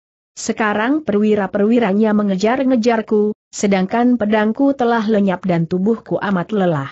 Tolonglah aku, Taijin, Pangeran Song kelihatan gugup dan wajahnya menjadi pucat. Celaka. Kalau mereka tahu kau bersembunyi di sini, celakalah kami. Bersembunyilah di tempat lain, Hyante. Tak mungkin aku dapat menolongmu tanpa membahayakan keluargaku sendiri, katanya dengan suara mengandung ketakutan, Bun Hang tercengang dan juga bingung. Jadi kau tidak mau menolongku, Taijin, Tanyanya heran. Bukan tidak mau, akan tetapi, pada saat itu, terdengar teriakan di luar gedung, dibarengi dengan ketukan pada pintu yang dilakukan keras sekali. Celaka, tubuh Pangeran Song menjadi gemetar karena takut dan khawatir. Tiba-tiba ia memegang tangan Bun Hang dan ditariknya ke dalam, ayo cepat ikut aku ke dalam Bun Hang menurut saja dan keduanya lalu berlari ke ruang dalam, bahkan pangeran itu terus membawanya ke bagian kamar wanita. Ia mengetuk pintu sebuah kamar dan ketika pintu dibuka, ternyata bahwa kamar itu adalah kamar tidur Song Kim Bwe dan Song Kim Hwa, kedua putri remaja dari pangeran itu. Bukan main terkejut dan heran kedua orang gadis remaja itu ketika melihat ayahnya datang bersama seorang pemuda yang berpeluh pada jidatnya dan yang berpakaian ringkas warna hitam. Lebih heran lagi ketika mereka mengenal pemuda ini sebagai pemuda yang kemarin mendatangkan rasa kagum mereka ketika terjadi keributan di kelenteng Bok Tiansi. Ada, ada apakah, ayah? Tanya Kim Bwe dengan mata terbelalak. Lekas, kau sembunyikan Tan Hiante ini. Lekas, kalau mereka tahu dia berada di rumah kita, binasalah kita semua, kata Pangeran Song dengan cepat dan tubuh menggigil. Kau berpura-pura sakit dan suruh adikmu menjagamu. Sembunyikan Tan Hiante. Cepat kemudian pangeran itu lalu berlari keluar untuk membuka pintu. Tidak ada orang lain kecuali ketiga orang Panglima Tio Taikam yang akan berani menggedor gedung Pangeran Song di tengah malam buta. Akan tetapi, Bongkak Liong adalah seorang panglima yang menjadi kepercayaan dan tangan kanan Tio Taikam, maka dengan berani ia menggedor-gedor pintu pangeran itu oleh karena ia merasa yakin bahwa penjahat yang mengacau di istana Tio Taikam tadi masuk dan bersembunyi di gedung ini. Ketika pintu dibuka dan melihat bahwa yang menyambutnya adalah Pangeran Song sendiri, Bongkak Liong lalu membungkukan diri dalam sebagai penghormatan, lalu berkata, Mohon maaf sebanyaknya apabila hamba berani mengganggu Taijin, karena hamba menggedor pintu semata-mata untuk keselamatan Taijin sekeluarga, kata Bongkak Liong dengan hati dan penuh hormat. Eh, Bong Chiang Kun, ada perlu apakah malam kau menggedor pintu? Aku merasa kaget sekal. Sekali lagi maaf, Taijin. Di dalam rumah Taijin bersembunyi seorang penjahat berbahaya yang tadi sudah menyerang dan mengacau di istana Tio Taijin, Pangeran Song tak perlu lagi bermain sandiwara berpura-pura kaget, oleh karena memang ia telah merasa cemas dan kaget sekali hingga tubuhnya telah menggigil. Apa? Peng, penjahat? Bagaimana dia bisa masuk ke gedungku? Tak mungkin, Ciang Kun, Mungkin kau keliru. Jangan khawatir, Taijin. Kami akan mencarinya sampai dapat dan menggusurnya keluar dari gedung ini, jawab Bongkak Liong. Silahkan, silahkan. Karilah ia sampai dapat, katanya akan tetapi wajahnya menjadi makin pucat. Bongkak Liong lalu memimpin anak buahnya menggeledah gedung itu. Biarpun tadi ia menyatakan hendak menolong pangeran itu dan hendak mencari penjahat, akan tetapi sebenarnya ia melakukan penggeledahan, seolah-olah menduga bahwa pangeran itu sengaja menyembunyikan penjahat tadi. Ia mencari di seluruh kamar, bahkan kamar pangeran Song dan kamar para selir pun tidak dilewatinya. Bukan main mendongkol hati pangeran itu melihat kekurang ajaran ini akan tetapi ia tidak berani menegur karena khawatir kalau Obun Hang akan terdapat dan ia takkan bisa menyangkal pula. Akhirnya, Bongkak Liong tiba di depan kamar Kim Bwe. Kamar siapakah ini? tanyanya. Chiang Kun Pangeran Song memprotes. Ini adalah kamar puteriku, jangan kau ganggu dia. Maaf, Taijin. Hamba hanya melakukan tugas yang diperintahkan oleh Tio Taijin. Penjahat itu harus didapatkan. Bagaimana kalau ia menyerbu masuk ke kamar ini dan bersembunyi di dalam Pangeran Song memperlihatkan muka marah? Bong Chiang Kun. Berani benar kau mengeluarkan kata-kata yang bukan-bukan. Kamar ini adalah kamar kedua orang puteriku, bahkan yang sulung sedang kurang enak badan, apakah kau begitu tidak percaya kepada kami Bongkak Liong merasa ragu-ragu, karena ia merasa khawatir kalau pangeran ini akan marah, akan tetapi ia harus melakukan tugasnya dan ketakutan terhadap pangeran ini tidak ada artinya. Apabila dibandingkan dengan rasa takut dan taatnya kepada Tio Taikam. Maaf, Taijin, betapapun juga, hamba harus mendapat kepastian dan menyaksikan dengan kedua mata sendiri bahwa penjahat itu tidak bersembunyi di dalam kamar ini pada saat itu, daun pintu terbuka dari dalam dan muncullah Kim Hwa di ambang pintu. Ayah, ada apakah ramai-ramai ini? Mengapa begini banyak orang berada di sini? Cici sedang sakit, mengapa kau biarkan saja orang membuat gaduh? Ayah Bongkak Liong cepat memberi hormat dan menjura. Maafkan hamba, Siocia. Hamba khawatir kalau penjahat yang kami kejar-kejar bersembunyi di kamar ini pucatlah muka Kim Hwa karena khawatir, dan hal ini baik sekali karena Bongkak Liong menyangka bahwa gadis remaja yang cantik ini merasa terkejut dan takut. Penjahat? Ah, lekaslah kau tangkap dia, Chiang Kun. Benar-benarkah dia berada di gedung kami? Kami sedang mencari-carinya, kata Pangeran Song yang merasa lega, karena ia melihat bahwa kamar itu kosong, tidak nampak bayangan Bun Hang sedangkan Kim Bwe nampak berbaring di atas pembaringan sambil berkerudung selimut. Apakah betul tidak ada siapa di kamarmu Kim Hwa memandang kepada ayahnya? Yang ada hanyalah Cici yang mulai panas lagi tubuhnya, ayah, Sambil berkata demikian ia membuka daun pintu itu agak lebar hingga Bongkak Liong dapat melihat betapa kamar itu benar-benar kosong, hanya terdapat Kim Bwe yang sedang berbaring di atas pembaringan sambil menutupi tubuhnya dengan selimut dan nampak pucat sekali seperti sedang menderita sakit. Maaf, maaf, kata Panglima itu sambil menjura. Xio Chia, tutuplah pintu kamarmu kembali, tak baik bagi saudaramu kalau terkena angin.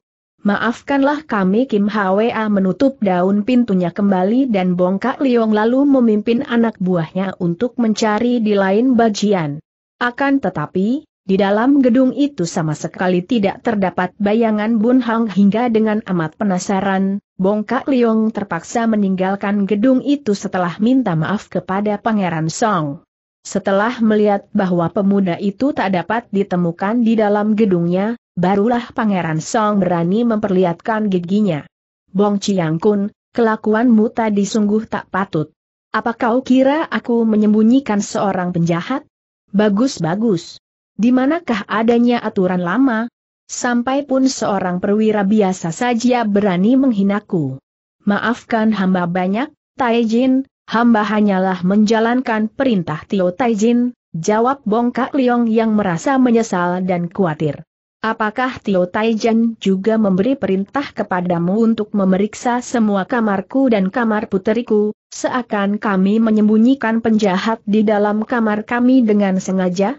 Tidak, tidak, tapi, tapi, baru menyawab sampai di situ, Pangeran Song sudah membanting daun pintu di muka hidung perwira itu yang segera pergi dengan mendongkol sekali. Ia memaki-maki semua anak buahnya yang disebut bodoh dan tolol hingga mengejar seorang penjahat saja sampai tidak dapat tertangkap. Ia pun merasa heran sekali karena ketika ia mengadakan penggeledahan, perwira lain menjaga di sekitar gedung itu, bahkan di atas genteng dilakukan penjagaan hingga penjahat itu tak mungkin keluar dan kabur dari gedung itu. Maka ia lalu memerintahkan beberapa orang anak buahnya untuk mengadakan pengintaian di sekeliling gedung itu sambil bersembunyi, sementara ia pulang dengan cepat memberi laporan kepada Tio Taikam.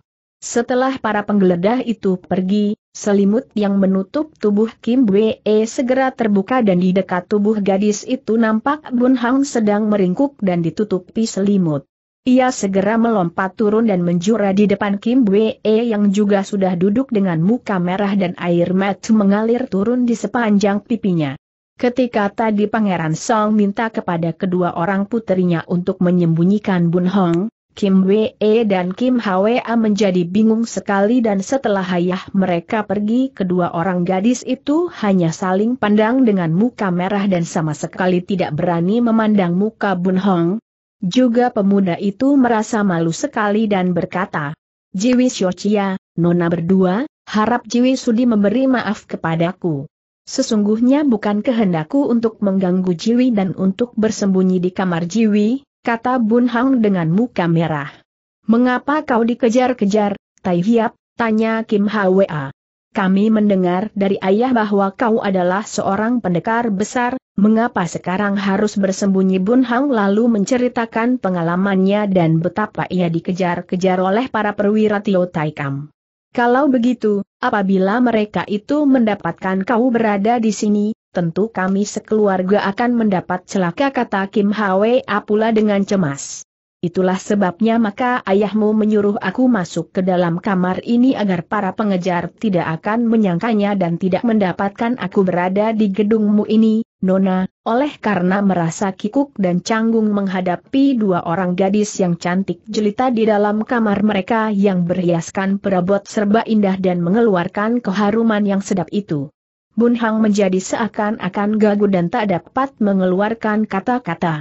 Ia berdiri seperti patung dan hanya kadang-kadang saya melirik ke arah Kim Bwe dengan dada berdebar. Nona itu nampak lebih cantik jelita daripada dulu ketika ia lihat di kelenteng. Tiba-tiba terdengar suara para penggeledah di luar pintu dan suara Pangeran Song mencegah mereka membuka pintu itu. Kedua orang gadis itu menjadi pucat sekali dan tubuh mereka menggigil sedangkan Bun Hang telah bersiap sedia untuk menerjang keluar. Tiba-tiba Kim Bwe yang semenjak tadi diam saya, hanya duduk di tepi pembaringan sambil bermain-main dengan ujung lengan bajunya yang panjang dan menundukkan kepala, melompat berdiri dan mendekati Bun Hang lalu berbisik. Tai Hiap, lekas. Lekas kau naik ke pembaringanku dalam keadaan seperti itu, Bun Hang tak dapat merasa ragu-ragu atau malu lagi. Ia segera naik ke pembaringan dan menurut saya ketika Kim Bwe menutupi tubuhnya dengan selimut yang harum baunya. Bun Hang meringkuk di bawah selimut dan memasang telinga, siap untuk menghadapi segala kemungkinan. Akan tetapi tiba-tiba ia merasa sesuatu yang halus dan lunak menyentuh tubuhnya dan keharuman yang dibauinya tadi makin mengeras. Karena tadinya ia memejamkan mata, maka segera ia membuka matanya dan dadanya berdenjut hebat ketika ia mendapat kenyataan bahwa tubuh Kim Bwe sudah berada di bawah selimut pula, hanya kepala gadis itu saya yang keluar dari selimut. Ternyata tanpa ragu-ragu lagi gadis itu telah berpura-pura sakit dan menyembunyikan tubuh Bun Hang di bawah selimutnya. Tentu saya Bun Hang merasa malu dan jengah sekali ia tidak berani berkutik, bahkan bernapas pun tak berani. Bun Hang mendengarkan percakapan yang terjadi ketika Kim Hwa membuka pintu. Gadis remaja itu ternyata cerdik sekali dan setelah melihat tencinya berbaring dan berselimut dan pemuda itu telah bersembunyi dengan baik di dalam selimut, lalu membuka pintu dan menjalankan aksinya dengan sempurna hingga tidak saja para pengejar dapat ditipunya, bahkan ayahnya sendiri pun merasa heran sekali. Sesungguhnya Pangeran Song sendiri tidak pernah mengira bahwa Bun Hang disembunyikan di dalam selimut, dan disangkanya bahwa pemuda itu sudah pergi dari kamar atau bersembunyi di lain tempat. Setelah para penggeledah pergi jauh, Bun Hang segera melompat turun dan Kim Bwe bangun duduk dengan air mata mengalir turun di sepanjang pipinya. Xio Chia, kata Bun Hang dengan suara menggetar, banyak terima kasih ku haturkan atas budi pertolonganmu, dan berilah maaf sebanyaknya karena gangguanku ini sambil terisak dan air matanya mengucur makin deras, Kim Wee menyawab. Tai Hiap, kau tentu memandang aku sebagai seorang gadis tak tahu malu dan rendah sekali, ah, apakah kata orang kalau mendengar tentang peristiwa ini? Tai Hiap, kau harus tahu bahwa aku melakukan hal yang melanggar kesopanan itu semata-mata untuk menolong leher kami sekeluarga dari ancaman pedang hukuman, bukan karena hendak menolongmu Bun Hang sadar bahwa ia telah salah bicara. Tentu, tentu, Xiao Kau cerdik dan bijaksana sekali, Seng Taijin membuka pintu dan masuk ke dalam kamar itu dengan muka masih pucat. Melihat betapa Bun Hang telah berdiri dan menundukkan kepala, ia merasa heran sekali. Kim Wee segera lari dan menjatuhkan diri di depan kaki ayahnya sambil menangis terseduh-seduh. Eh, eh, kau kenapakah? Tanyanya heran melihat betapa puterinya menangis demikian sedihnya. Pada saat itu, Song Hujin juga berlari masuk ke dalam kamar itu. Ketika terjadi penggeledahan tadi, Nyonya ini berdiam di dalam kamarnya dengan ketakutan. Nyonya ini sama sekali tidak tahu apakah yang sedang terjadi. Kini melihat betapa puterinya menangis dan berlutut di depan kaki suaminya dan melihat seorang pemuda berdiri di kamar puterinya, ia menjadi khawatir dan heran sekali. Apa, apa yang telah terjadi dengan singkat Kim Hwa lalu menuturkan segala peristiwa itu kepada ibunya, betapa untuk menolong keluarga mereka dari bencana, terpaksa Kim Bwe telah menyembunyikan Bun Hang dalam selimutnya sendiri. Mendengar ini, Nyonya Song juga menangis sedih dan menegur suaminya. Dasar kau yang tidak dapat menjaga nama. Bergaul dengan segala pembunuh. Kalau sudah terjadi demikian bukankah kau telah mencemarkan nama dan kehormatan anakmu sendiri tadinya Bun Hang merasa heran sekali mengapa Kim Bwe menangis demikian sedihnya, akan tetapi setelah mendengar ucapan nyonya ini, maklumlah dia bahwa sesungguhnya adalah hal yang amat memalukan dan menodai nama kehormatan gadis itu yang telah menyembunyikan seorang pemuda asing di dalam selimut dan berbaring bersama di atas satu pembaringan. Pangeran Song membanting kakinya dan memegang lengan Bun Hang yang segera ditariknya keluar dari kamar itu. Hiburlah hatinya dan jaga jangan sampai ia melakukan hal yang bukan-bukan, katanya kepada istrinya, dan makin bercekatlah hati Bun Hang ketika ia dapat menduga maksud kata-kata pangeran itu. Mungkinkah gadis yang telah menolongnya itu akan membunuh diri karena malu? Ah, celakalah kalau sampai terjadi hal demikian. Ketika pangeran itu bertanya, ia lalu menuturkan dengan panjang lebar tentang percobaannya membunuh Tio Taikam yang gagal karena penjagaannya yang memang amat kuat itu kau masih untung, Hyante. Kalau malam ini Tek Potosu dan Bongka Im Chiang Kun berada di sana, sukarlah bagimu untuk dapat melepaskan diri dari kepungan mereka. Ia lalu menceritakan tentang kegagahan kedua orang itu yang dalam hal ilmu silat masih jauh lebih lihai daripada Bongka Liong. Akan tetapi, syukurlah bahwa bahaya telah lewat hingga tidak saja kau masih selamat, bahkan kami sekeluarga pun terlepas daripada bencana hebat, sambungnya sambil menarik napas lega. Akan tetapi, Song Hai Ling ternyata memandang terlampau rendah terhadap kecerdikan Tio Tai Kam. Ia tidak tahu bahwa orang kebiri itu selain berpengaruh, juga mempunyai pembantu yang cerdik sekali hingga ketika meninggalkan gedung itu, Bongkak Liong Diam telah menaruh beberapa orang penjaga mengintai di sekeliling rumah itu, melihat kalau pemuda yang mereka kejar-kejar keluar dari gedung. Baiknya Pangeran Song berlaku hati sekali dan mencegah ketika Bun Hang berpamit hendak meninggalkan gedung itu. Jangan pergi sekarang, Tan Hyante. Setelah adanya peristiwa tadi, tentu terdapat banyak penjaga yang berkeliaran di dalam kota, dan kalau mereka itu melihat kau keluar dari gedung ini malam, tentu kau akan dicurigai dan kembali keluarga kami akan dicurigai pula. Tadi kau katakan bahwa ketika kau menyerbu ke istana Tio Taikam kau telah menutupi mukamu dengan sapu tangan. Hal ini baik dan cerdik sekali, karena dengan demikian, tidak ada orang yang mengenal mukamu. Besok saja, dengan terangan kau boleh keluar dari rumah kami dan keluar kota tanpa menimbulkan kecurigaan. Dengan demikian, Bun Hang tinggal di dalam gedung itu semalam suntuk, dan selama itu ia mengadakan percakapan dengan Song Hai Ling. Mereka telah merasa lega dan menyangka bahaya benar-benar telah lewat, sama sekali tidak pernah menduga bahwa Tio Tai Kam yang cerdik itu masih mempunyai sebuah langkah yang hendak dilakukan untuk menyelidiki keadaan Pangeran Song. Pada keesokan harinya, pagi-pagi sekali, Pangeran Song yang sedang duduk bercakap-cakap dengan Bun Hang di ruang tengah, dikejutkan oleh laporan penjaga pintu bahwa telah datang berkunjung di pagi buta itu. Tio Tai Kam sendiri, diiringi oleh Bong Kak Liong dan Tek Po Tosu yang datang malam tadi. Bukan main terkejut dan takutnya hati Pangeran Song mendengar ini, hingga untuk beberapa lama ia berdiri dari kursinya dan memandang kepada Bun Hang dengan muka pucat dan diam seperti patung.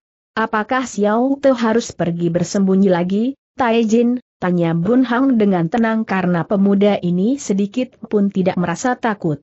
Jangan, tidak ada gunanya, jawab Pangeran Song. Setelah orang tua yang cerdik ini memutar otak. Kau duduklah saja dengan tenang dan jangan kau heran apabila nanti kau kuperkenalkan sebagai calon menantuku.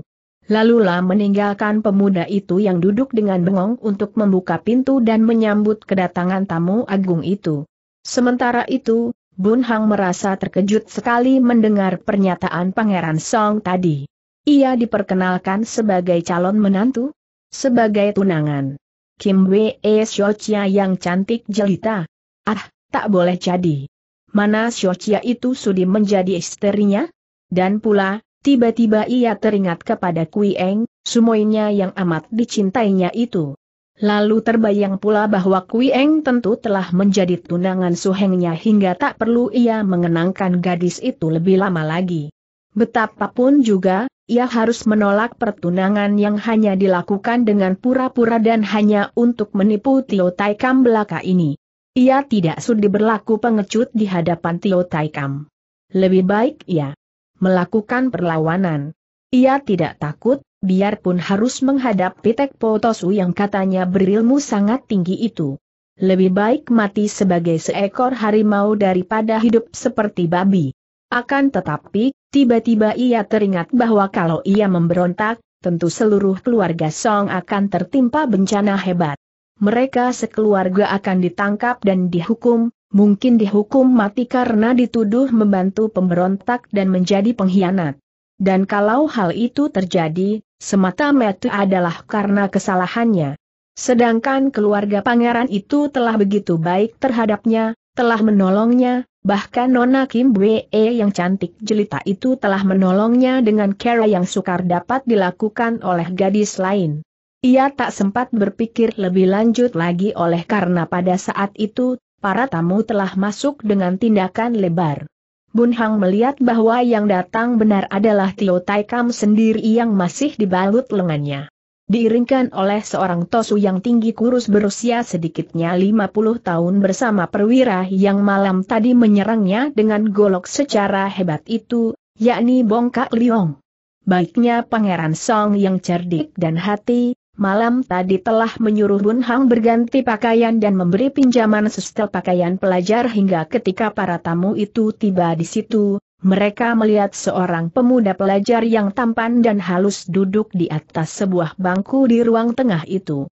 Ingin sekali Bun Hang melompat dan menerkam Taikam itu dan membunuhnya dengan sekali pukul, akan tetapi ia dapat menekan kemarahannya, bahkan ketika diperkenalkan, ia lalu menjatuhkan diri berlutut sebagaimana layaknya seorang siucai, pelajar, memberi hormat kepada seorang yang berpangkat demikian tinggi seperti Tio Taikam. Seng Taijin, siapakah pemuda tampan ini, belum pernah aku melihatnya, kata Tio Taikam, sedangkan Bongkak Liong memandang dengan mata tajam. Dia adalah calon menantu kutunangan putriku yang sulung, bernama Tan Bun Hong, Jawab Pangeran Song sambil tersenyum memperkenalkan. Heran, mengapa malam tadi hamba tidak melihat Kongcu ini, tiba-tiba Bongkak Liong berkata hingga Tio Tai Kam cepat memandang kepada Bun Hang dengan mata tajam. Baiknya Pangeran Song masih dapat menetapkan hatinya hingga wajahnya tidak menjadi pucat, akan tetapi ia tidak tahu harus menjawab bagaimana. Bun Hang cepat menolong Pangeran Song dengan bersenyum dan berkata, Bong Chiang Kun, katanya dengan suara tetap dalam keadaan seperti itu, mana Chiang Kun dapat memperhatikan Xiao Te yang tak berferguna ini? Terus terang saya, Xiao Te melihat semua kejadian itu karena malam tadi Xiao Te juga ikut melakukan penjagaan bersama sekalian penjaga dan karena Xiao Te mengenakan pakaian penjaga, tentu saya Chiang Kun tidak melihat Xiao Te. Pangeran Song adalah seorang yang hati-hati dan semua penjaganya terdiri dari orang yang dipercaya penuh dan setia, maka ketika mendengar ucapan Bun Hang ini, seorang penjaga segera diam-diam pergi keluar dan memberitahu kepada semua kawannya agar mereka mengaku bahwa Bun Hang benar-benar ikut menjaga dengan mereka malam tadi. Sementara itu, biarpun masih curiga, akan tetapi mendengar jawaban ini, Bongkak Liong hanya menganggukkan kepala. Sementara itu, tiba-tiba Tek Potosu lalu melangkah maju menghadapi Bun Hang dan berkata, Tan Kong Chu, mendengar bahwa kau adalah calon menantu Song Taijin, sudah sepantasnya Pintun mengucapkan Kiong Hi, selamat sambil berkata demikian, pertapa itu lalu menjura dan mengangkat kedua tangannya memberi hormat. Angin pukulan yang hebat menyambar ke arah dada Bun Hang yang juga membalas hormat itu dengan menjura. Melihat datangnya serangan gelap ini, kaget sekali hati Bun Hong. Ia hendak menolak angin pukulan itu atau mengelak, akan tetapi karena ia pun mempunyai kecerdikan dan ketajaman otak, cepat ia maklum bahwa ini adalah ujian yang amat berbahaya dari Tosu itu. Kalau ia mengelak atau menolak serangan itu, tentu rahasianya akan terbuka dan akan mereka ketahui bahwa ia adalah seorang berilmu tinggi, maka ia lalu menyimpan kembali tenaganya dan menjura dengan biasa saya, membiarkan serangan itu memukul dadanya. Akan tetapi, Tek Potosu yang lihai dan licin itu setelah melihat pemuda itu tidak memperlihatkan reaksi sesuatu, cepat menarik kembali pukulannya dan hal ini amat mengagumkan hati Bun Hang oleh karena tidak sembarangan orang dapat menarik kembali pukulan Luokang yang sudah dilakukan untuk menyerang orang dari jauh. Tek Potosu tertawa gelak dan berkata kepada Bong Kak Liong. Ciang Kun, jangan kau terlalu curiga. Tan Kong Chu adalah seorang terpelajar, mana ia dapat dipersamakan dengan seorang penjahat yang lihai baik Bong Kak Liong, maupun Tio Tai Kam, maklum bahwa Tosu ini telah menguji, karena memang mereka tahu akan kecerdikan dan kelihayan Tosu tua ini. Maka hati Tio Tai Kam menjadi lega. Sementara itu, Pangeran Song lalu mempersilahkan tamu-tamunya mengambil tempat duduk. Koma agak mengherankan hatiku mengapa Tio Taijan pagi sekali datang mengunjungi rumahku. Apakah artinya penghormatan besar ini, kata Pangeran Song yang tidak terlalu banyak menggunakan peradatan terhadap Taikam itu oleh karena selain ia masih keluarga kaisar juga ia memang mempunyai adat yang tinggi dan tidak mau merendahkan diri terhadap Taikam yang amat berpengaruh itu. Tio Taikam menarik napas dan setelah membanting dirinya yang gemuk itu di atas kursi, ia berkata, Aku datang hendak meminta maaf atas kelancangan Bong Chiang Kun malam tadi, yang dilakukannya atas perintahku. Seorang penjahat keji telah datang menyerbu dan melukai aku, dan ketika dikejar, penjahat itu menurut keterangan para pengejar, lari dan melompat ke atas genteng rumahmu. Ah, tidak apa, Tio Taijin. Aku sudah mendengar hal itu dari Bong Chiang Kun, hanya lain kali saya harap Bong Chiang Kun lebih percaya terhadap orang sendiri, jawab Song Hai Ling sambil memandang tajam kepada perwira itu yang menundukkan muka dengan muka merah kembali Tio Tai Kam menarik napas panjang. Yang amat mengherankan hatiku, Seng Taijin, ialah persamaan pendapat antara penjahat yang mengacau itu dengan kau Pangeran Song bangun dari tempat duduknya dengan penasaran. Tio Taijin, apakah maksud perkataanmu itu Tio Taikam mengeluarkan surat yang dilempar dengan pisau oleh penyerang malam tadi?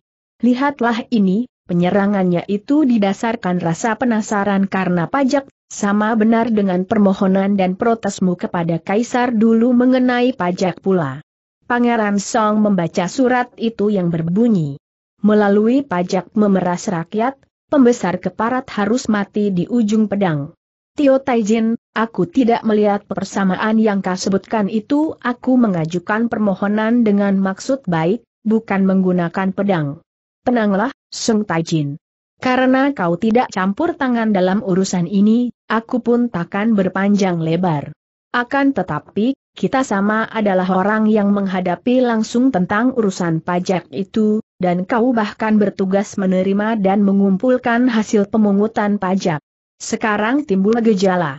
Pemberontakan tentang pajak ini, sudah sepatutnya kalau kita merundingkan dan mengatur langkah bagaimana baiknya.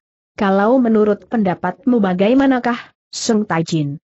Aku adalah seorang bendahara kerajaan yang tidak berwenang mengatur hal ini, jawab Pangeran Song dengan hati-hati, bagaimana aku berani menyatakan pendapat?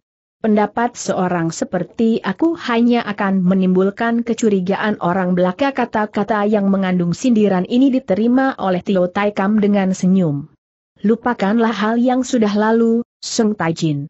Baiklah, kalau kau tidak mau menyatakan pendapat, dengarlah pendapatku. Orang yang tidak setuju dengan peraturan pajak itu, hanyalah orang yang jahat dan malas, yang memang sengaja ingin menyelundupkan pajak ke kantong sendiri. Memang sifat mereka itu selalu tidak puas dengan peraturan pemerintah, diberi sedikit ingin banyak, diberi banyak masih belum puas.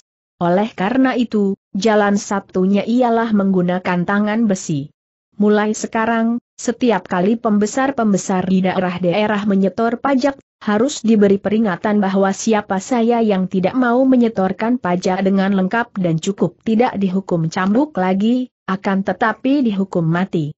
Tio Taijin, seru Pangeran Song, akan tetapi, rakyat sudah cukup menderita.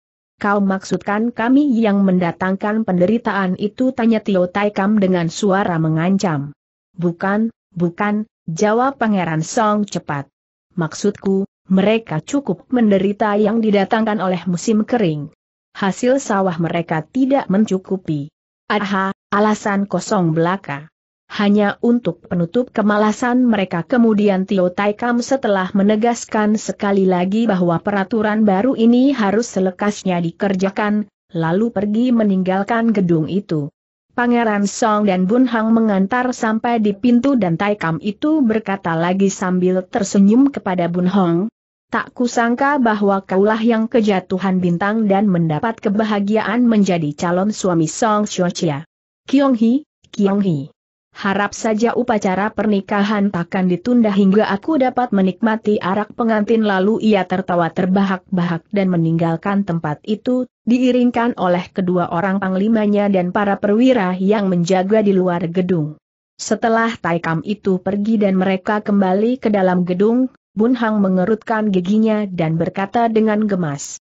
Ingin sekali aku mencekik batang leher keparat busuk itu kemudian ia teringat akan tipu muslihat Pangeran Song tadi, maka dengan muka merah ia berkata, Taijin, mengapa kau mempergunakan alasan yang demikian menyulitkan Pangeran Song menghela napas? Tan Hyante, aku memang tidak main-main dan setelah apa yang terjadi, kau harus menolong kami dan suka menerima Kim Bwe sebagai calon istrimu. Ketahuilah bahwa Kim Bwe adalah seorang anak yang keras hati dan pegang teguh kehormatan dan nama, maka setelah apa yang terjadi di dalam kamarnya, kalau kau tidak menerimanya sebagai istri, aku khawatir sekali kalau ia akan membunuh diri untuk penebus rasa malu. Itu hal pertama, kedua, kalau kita tidak menggunakan alasan seperti itu, tentu akan terbuka rahasiamu dan kita semua akan mendapat celaka. Ketiga, terus terang saja, aku suka kepadamu, Hyante, dan aku akan merasa puas dan beruntung mendapat seorang menantu seperti engkau. Koma akan tetapi, kata Bun Hur. Akan tetapi apakah? Apakah kau sudah beristri Bun Hang menggelengkan kepalanya? Koma sudah bertunangan dengan gadis lain kembali Bun Hang menggelengkan kepala.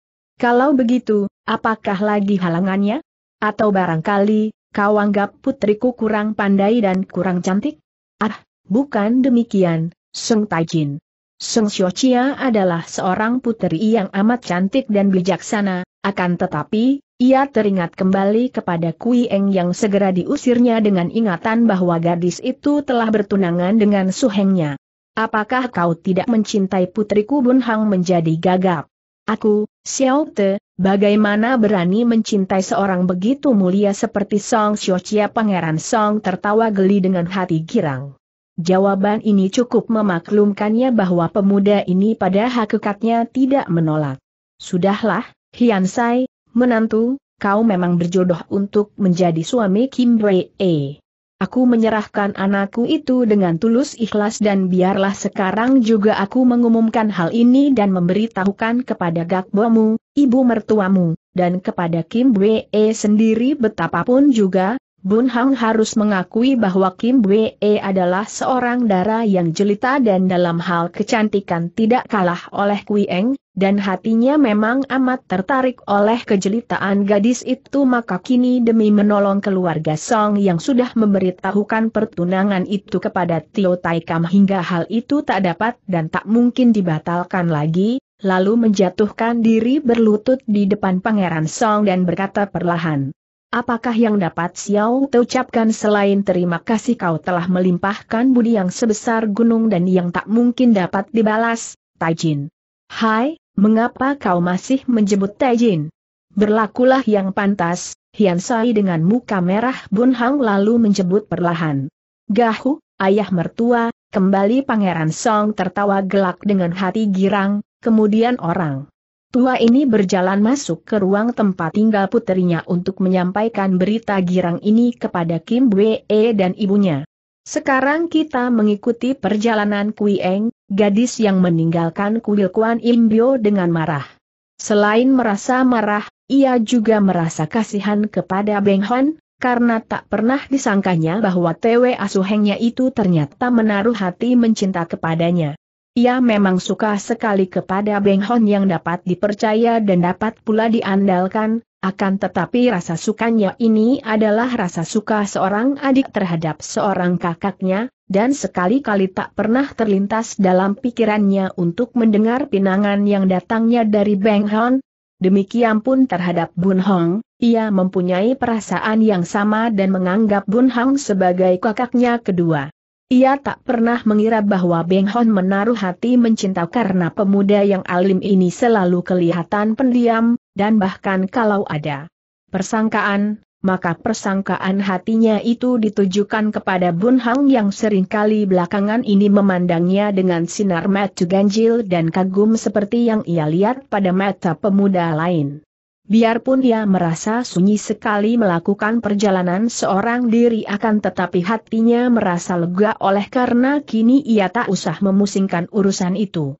Kalau ia harus mengadakan perjalanan bersama Beng Hon yang telah diketahuinya mencintainya sebagai seorang pemuda mencintai seorang dara, tentu ia akan merasa jengah dan sungkan serta tidak leluasa lagi. Sebagai seorang pendekar wanita, tiap kali terjadi sesuatu hal yang memerlukan pertolongannya. Kui Eng tidak ragu untuk mengulurkan tangan dan melakukan pertolongan hingga tidak sedikit ia telah menolong orang yang sengsara dan membasmi orang jahat yang mengandalkan kekuasaan dan kepandaian untuk menghina dan menindas orang lain. Seperti yang telah dikatakannya kepada Beng Hon dulu ketika ia mau berangkat merantau, ia hanya mengandalkan kedua kakinya dan pergi ke mana saya membawa dirinya. Ia tidak mempunyai tujuan tertentu oleh karena ia tidak tahu ke mana ibunya telah pergi waktu kekacauan terjadi. Pada suatu pagi, beberapa bulan kemudian semenjak ia merantau, Kui Eng tiba di sebuah dusun yang dilalui oleh jalan besar yang menuju ke kota raja. Ketika ia berjalan memasuki dusun itu tiba-tiba telinganya mendengar suara ribut di dalam dusun itu. Kui Eng mempercepat tindakan kakinya dan sebentar saja ia melihat tiga orang pemuda pelajar sedang dikelilingi oleh banyak orang dan dieje dengan kata menghina. Sebagian besar orang yang mengelilinginya itu adalah petani biasa yang merupakan penonton-penonton belaka, akan tetapi yang betul sedang mengejek dan menghina ketiga orang muda itu adalah seorang laki-laki bermuka hitam yang dibantu oleh kawan-kawannya berjumlah delapan orang. Ha, ha, tiga orang cacing buku yang bisanya hanya mencoret-coret di atas kertas. Apakah kepandaianmu sebenarnya? Kalian paling hanya mengikuti ujian dan setelah mendapat pangkat lalu menjadi kepala besar dan menggunakan kedudukan untuk menindas kami. Apakah kau bisa menggunakan cangkul dan menanam gandum? Ha, ha. Kalau tidak ada orang kasar seperti kami, apa kau kira kau akan dapat hidup? Kurasa memegang pun kau takkan kuat, kata seorang di antara mereka. Orang-orang macam inilah yang menjadi calon pemeras dan penindas kita si muka hitam berkata sambil menunjuk ke arah hidung ketiga pemuda itu. Orang-orang macam ini harus dibikin mampus agar kita tidak ditambahi penindasan dari tiga orang calon pembesar ini. Mendengar anjuran si muka hitam, kawan-kawannya lalu maju mengurung dengan sikap amat mengancam. Sementara itu, para petani yang sudah terlalu kenyang mengalami penindasan dan pemerasan dari petugas pemerintah, hanya memandang dengan tersenyum seakan-akan ketiga orang pelajar itu adalah badut-badut yang sedang menjual lagak. Kui Eng memperhatikan tiga orang muda itu. Mereka itu berpakaian pantas, seperti biasa anak pelajar, dan usia mereka rata-rata kurang lebih 16 tahun. Wajah mereka tampan dan sikap mereka lemah lembut dan halus. Seorang di antara ketiga orang pemuda itu, yang bermuka tampan sekali dan bermata tajam bagaikan bintang dilindungi alis yang tebal dan panjang menghitam berbentuk golok, nampak tenang dan tabah menghadapi ejekan ini, sedangkan kedua orang kawannya telah menjadi pucat mendengar ancaman mereka itu. Cui sekalian, kata pemuda yang tabah itu dan suaranya ternyata nyaring dan halus hingga menarik perhatian Kui Eng, kami bertiga adalah pelajar-pelajar yang hendak menempuh hujan di kota raja dan sama sekali kami tidak mengerti tentang pemerasan dan penindasan. Melihat sikap Cui, barangkali telah terjadi penindasan, akan tetapi, kami tidak mempunyai sangkut paut dengan hal itu. Harap Cui suka berpikir dengan matang dan jangan memandang orang dengan sama rata saja, si muka hitam. Meludah ke atas tanah. Cih, Begitulah lagak putu buku yang busuk dan jahat pandainya memutar pena bulu dan lidah. Coba kau jawab, untuk apa kau mempelajari semua kepintaran bicara dan menulis itu? Apakah gunanya itu bagi kami? Akan tetapi sebaliknya kami mengayun cangkul menghasilkan gandum dan padi bukan untuk mengenyangkan perut kami sendiri, Bahkan perut kalian bertiga ini kalau tidak diisi oleh hasil tanaman dan cangkulan kami mau diisi dengan apakah? Cui, kata pelajar itu pula dengan senyum ramah, kami dapat mengetahui dan menghargai jasa kalian sebagai petani. Akan tetapi hendaknya diingat bahwa masing-masing orang memiliki bakat dan lapangan kerja sendiri melayani bidang masing-masing untuk memajukan negara dan bangsa. Kalau semua orang harus menjadi petani, siapakah yang akan mengerjakan dan membuat barang kebutuhan lain? Kita harus hidup bersama saling menolong dan saling mengisi kebutuhan masing, baru kita bisa hidup dengan tenteram dan damai, penuh kebahagiaan. Cih, pandainya memutar lidah. Pendeknya orang macam kalian ini tidak berguna. Bisanya hanya memeras rakyat petani. Kalian harus ditumpas, dibunuh semuanya, kata si muka hitam sambil melangkah maju. Lihat, muka kalian sudah pucat karena takut. Cih, pengecut, penakut, laki-laki lemah pemuda itu menjadi marah. Laki-laki kasar yang tidak tahu akan sopan santun. Apakah kesalahan kami maka kau berlaku sekasar ini dan tanpa alasan memaki orang? Eh, eh, kau hendak melawan? Beranikah kau melawan aku si macan hitam? Lihatlah, saudara, lihatlah baik. Kutu buku ini hendak bertanding melawan aku, kata si muka hitam sambil tertawa gelak, dan semua orang ikut mentertawakan pemuda pelajar itu. Hek Houko, macan hitam. Aku bukanlah seorang yang pandai berkelahi dan tenagaku pun lemah tidak seperti tenagamu yang terlatih, akan tetapi aku cukup jantan dan aku tidak takut kepada siapa pun juga apabila aku bersalah. Kuharap kau tidak menghina kami karena bukan maksud kami meninggalkan rumah melakukan perjalanan jauh untuk mencari permusuhan. Ha, ha, ha, pintarnya ia mencari alasan untuk menyembunyikan rasa takutnya. Ayo, majulah kau, hendak ku hancurkan kepalamu. Lawanlah kalau kau benar-benar seorang laki-laki sambil berkata demikian, Hek Hou melangkah maju dan sekali ia menggerakkan tangan, baju pemuda pelajar itu ditariknya hingga robek di bagian dada dan nampaklah kulit dadanya yang putih. Ha, ha. Ayo kau lawanlah aku betapapun juga, pemuda itu sama sekali tidak kelihatan takut dan dengan senyum sindiria berkata, baik busuknya hati orang bukan dilihat dari pekerjaannya, akan tetapi dari perbuatan dan sikapnya. Sikapmu ini menunjukkan bahwa kau tidak patut menjadi petani yang baik dan paling tepat orang seperti engkau ini disebut penjahat yang kasar dan rendah. Angheng, sudahlah jangan kau menyawab, biarkan saja, mencegah seorang pelajar lain yang kelihatannya takut sekali. Mengapa kita harus takut, Lite? Kita tidak bersalah apa-apa, dan orang yang tidak bersalah takkan takut mati, karena biarpun sampai terbunuh, kematiannya adalah kematian yang mulia, jawab. Pemuda itu dengan suara gagah. Sementara itu, si muka hitam yang disebut penjahat kasar dan rendah, menjadi marah sekali dan berseru keras lalu mengajun, tangan memukul ke arah muka pemuda itu yang sama sekali tidak mundur ketakutan, bahkan memandang dengan tajam. Akan tetapi, sebelum pukulan si muka hitam itu mengenai muka pemuda itu, tiba-tiba si muka hitam berseru kaget karena tubuhnya ditarik orang dari belakang yang membuatnya terguling roboh. Ketika ia melompat bangun dengan cepat, ternyata bahwa yang menariknya roboh itu adalah seorang gadis berpakaian warna hijau yang cantik dan gagah sekali sikapnya. Eh, muka hitam, kau memang jahat, kasar dan rendah, kata Kui Eng sambil bertolak pinggang menghadapi si muka hitam itu. Bukan main marahnya Hek Hou, siluman perempuan. Siapakah kau yang berani berlancang tangan membela kutu buku ini?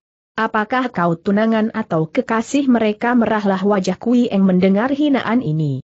Bangsat bermulut kotor. Apa kau ingin mampus sambil berkata demikian, tangan kanannya melayang ke arah Metusi muka hitam yang segera mengelak, akan tetapi tangan kanan itu sebetulnya hanya merupakan ancaman belaka, karena segera disusul dengan tamparan tangan kiri yang melayang ke pipi si muka hitam. Tok dan mengaduhlah si muka hitam. Dua buah giginya copot dan bibirnya berdarah. Bangsat perempuan, bentaknya sambil mencabut golok dan dengan marah sekali ia menyerang dengan goloknya, membacok ke arah leher Kuieng. Darah itu cepat mengelak dan ketujuh orang kawan si muka hitam lalu maju pula mengeroyok. Akan tetapi, segera terdengar teriakan kesakitan dan seruan kaget dari semua penonton ketika tubuh Kui Eng tiba-tiba lenyap berubah menjadi bayangan hijau yang berkelebatan dan di mana saja tubuhnya berkelebat, pasti seorang pengeroyok roboh terpelanting dan senjatanya terpental jauh. Si muka hitam sendiri terkena tendangan Kui Eng pada dadanya hingga ia terlempar jauh dan jatuh pingsan. Sebentar saja, delapan orang pengeroyok itu telah rebah malang melintang sambil merintih-rintih. Sambil bertolak pinggang, Kui Eng lalu menuding ke arah si muka hitam dan berkata, Orang macam kau ini memang jahat dan kejam. Kau berpura-pura dan mengaku sebagai petani, akan tetapi aku tidak percaya bahwa kau adalah seorang petani tulen. Petani biasanya berwatak jujur dan baik, Sedangkan watakmu adalah watak bajangan atau perampok jahat. Tidak semua pembesar berhati buruk dan tidak semua pelajar menjadi calon pembesar jahat. Ketiga orang Kongcu ini hanya lewat di sini dan tidak mempunyai dosa apa-apa, mengapa kalian mengganggu mereka? Tidak tahu malu si muka hitam yang sudah siuman kembali lalu merangkak-rangkak pergi diikuti oleh kawan-kawannya. Awas! akan kubunuh kalian kalau kita bertemu lagi, katanya. Mendengar ancaman ini, Kui Eng tertawa dan menyawab. Orang macam kau hendak mengancam aku? Betul kau tak tahu diri para penduduk dusun yang menyaksikan kegagahan Kui Eng, lalu memuji dengan kagum. Mereka memberitahu bahwa delapan orang itu adalah orang gelandangan yang pekerjaannya hanya mengganggu penduduk minta makan, minta uang dan lain. Mereka adalah penjudi yang tak tentu tempat tinggalnya, hingga mereka merupakan penambah beban bagi orang dusun yang sudah menderita. Mengapa cuy sekalian diam saja melihat mereka berbuat sewenang-wenang, tanya Kui Eng. Apakah yang dapat kami lakukan? Mereka itu kuat dan tangguh, dan pula, petani itu memandang ke arah tiga pelajar tadi, Memang ada betulnya ketika ia mengatakan bahwa pembesar sekarang hanyalah memeras dan menindas orang-orang tani pemuda pelajar yang tabah tadi lalu menarik napas panjang dan berkata, Hal ini telah kami dengar, mudah-mudahan saja kaum muda kami kalau sudah mendapat kedudukan akan dapat merubah suasana ini, kemudian ia memandang kepada Kui Eng dengan kagum sekali dan menjura, diturut oleh kedua orang kawannya. Xio Chia, kau sungguh gagah perkasa dan berbudi tinggi. Terimalah hormat dan ucapan terima kasih dari Xiao Teang Mintek, dan kedua orang kawanku ini Li Kang Choan dan Li Kang Po. Kalau tidak keburu Xiao yang gagah perkasa datang, entah bagaimana nasib kami bertiga. Merahlah wajah Kui Eng mendengar ucapan yang halus dan sikap yang sopan santun ini. Ia merasa girang sekali disebut Xiao karena ia sudah merasa bosan mendengar sebutan liap, dan menganggap bahwa sebutan Xiochia lebih halus dan lebih mengesankannya sebagai seorang wanita yang berperasaan halus. Cepat ia membalas dengan pemberian hormat, mengangkat kedua tangannya dan membungkukkan tubuh dengan gerakan yang lemah lembut. Sedapat mungkin Kui Eng hendak menghilangkan tanda kegagahannya dan alangkah girangnya kalau pada saat itu ia mengenakan pakaian seorang wanita biasa seperti yang dipakai oleh gadis biasa, bukan pakaian perantau yang ringkas seperti yang dipakainya itu. Samwi Kongcu, harap jangan terlalu membesarkan hal yang tak berarti. Sebagai seorang yang sopan, aku yang bodoh tak dapat tinggal diam saja melihat kekasaran si muka hitam itu. Angheng, tiba-tiba Li Kang Po, pemuda yang nampak gembira dan yang paling muda di antara mereka, paling banyak berusia 15 atau 14 tahun, kalau perjalanan kita selanjutnya dapat bersama dengan Xiochia yang gagah perkasa ini, kita tak usah takut akan gangguan segala orang kurang ajar Mintek memandang kepada kawannya itu dengan cemberut, lalu berkata kepadanya. Kengpo, jangan kau bicara sembarangan saja kemudian ia berpaling kepada Kui Eng dan berkata lagi. Maafkanlah kawanku yang muda ini, Xiochia, karena ia masih belum tahu benar akan kekurang ajaran ucapannya tadi. Mana bisa seorang Xiochia seperti kau dapat melakukan perjalanan bersama tiga orang pemuda Kui Eng tersenyum manis dan ia makin tertarik hatinya kepada pemuda Siang yang tampan dan sopan santun itu. Tidak apa, Angkong Chu, karena kawanmu itu tidak sengaja. Pula, memang perjalanan ke kota raja melalui tempat berbahaya. Kebetulan sekali aku pun sedang menuju ke sana maka biarpun tidak melakukan perjalanan berbareng, akan tetapi dapat kiranya aku mengamat-amati hingga tidak ada orang yang akan mengganggu kalian, berserilah wajah Mintek yang tampan itu. Ia segera menjura dan berkata girang. Bagaikan kejatuhan bulan rasa hati kami mendengar ini. Kau sungguh seorang nona yang amat berbudi dan mulia, nona, Kui Eng tersenyum lagi. Namaku Kui Eng. Terima kasih sekali lagi kami ucapkan, Nona Kui Eng kata Mintek pula. Demikianlah ketika ketiga orang muda itu melanjutkan perjalanannya, Kui Eng mengikuti mereka dari jauh. Entah bagaimana, ada sesuatu yang menarik hatinya dan yang membuat ia merasa bahwa ia tak dapat meninggalkan tiga orang muda itu. Ia harus melindungi mereka sampai ke kota raja. Biasanya ia melakukan perjalanan dengan cepat akan tetapi sekarang. Oleh karena harus mengikuti ketiga orang muda yang melakukan perjalanan dengan perlahan, ia harus berjalan perlahan pula. Akan tetapi aneh sekali, ia tidak merasa kesal, bahkan kini melakukan perjalanan dengan hati gembira. Sikap lemah lembut dan sopan santun dari Mintek telah membetot hatinya, telah merampas sanubarinya hingga ia merasa tertarik sekali. Sekaligus hatinya yang keras menjadi cair dan lunak dan ia merasa bahwa ia telah jatuh hati terhadap pemuda pelajar yang biarpun lemah, akan tetapi bersifat gagah berani ketika menghadapi bahaya itu. Ketabahan hati seorang pemuda yang memiliki ilmu kepandaian silat tinggi seperti kedua suhengnya tak sangat membuatnya kagum, akan tetapi melihat betapa seorang pemuda pelajar yang lemah dan tidak memiliki ilmu kepandaian silat seperti Mintek berani menghadapi bahaya maut dengan mata, tak berkedip dan semangat tetap berkobar, benar-benar membuat ia tunduk dan kagum. Dalam pandangannya, Mintek merupakan seorang laki-laki yang memenuhi syarat kejantanan dan hatinya runtuh oleh sikap yang lemah lembut, terutama oleh kesopanan pemuda itu. Sementara itu, ketiga orang muda sastrawan itu melanjutkan perjalanan mereka dengan gembira pula. Biarpun mereka tidak berani menengok ke belakang oleh karena dilarang oleh Mintek, namun mereka maklum bahwa nona pendekari yang cantik jelita dan gagah perkasa itu juga melakukan perjalanan di belakang mereka. Hanya satu kali Mintek menengok dan memandang ke arah Kui Eng sambil tersenyum, dan ini saja sudah cukup mendebarkan hati Kui Eng. Kekhawatiran hati Kui Eng bahwa pemuda itu akan mendapat gangguan ternyata berbukti. Hek Hou si muka hitam yang merasa dibikin malu dan menjadi sakit hati itu telah mengadakan hubungan dengan beberapa orang kawannya yang menjadi perampok dan sengaja mencegat perjalanan Mintek dan kawan-kawannya. Ketika Mintek dan kawan-kawannya berjalan sampai di sebuah tempat yang sunyi, Tiba-tiba dari belakang batu karang yang besar muncul belasan orang tinggi besar yang bercambang bauk dan memegang golok.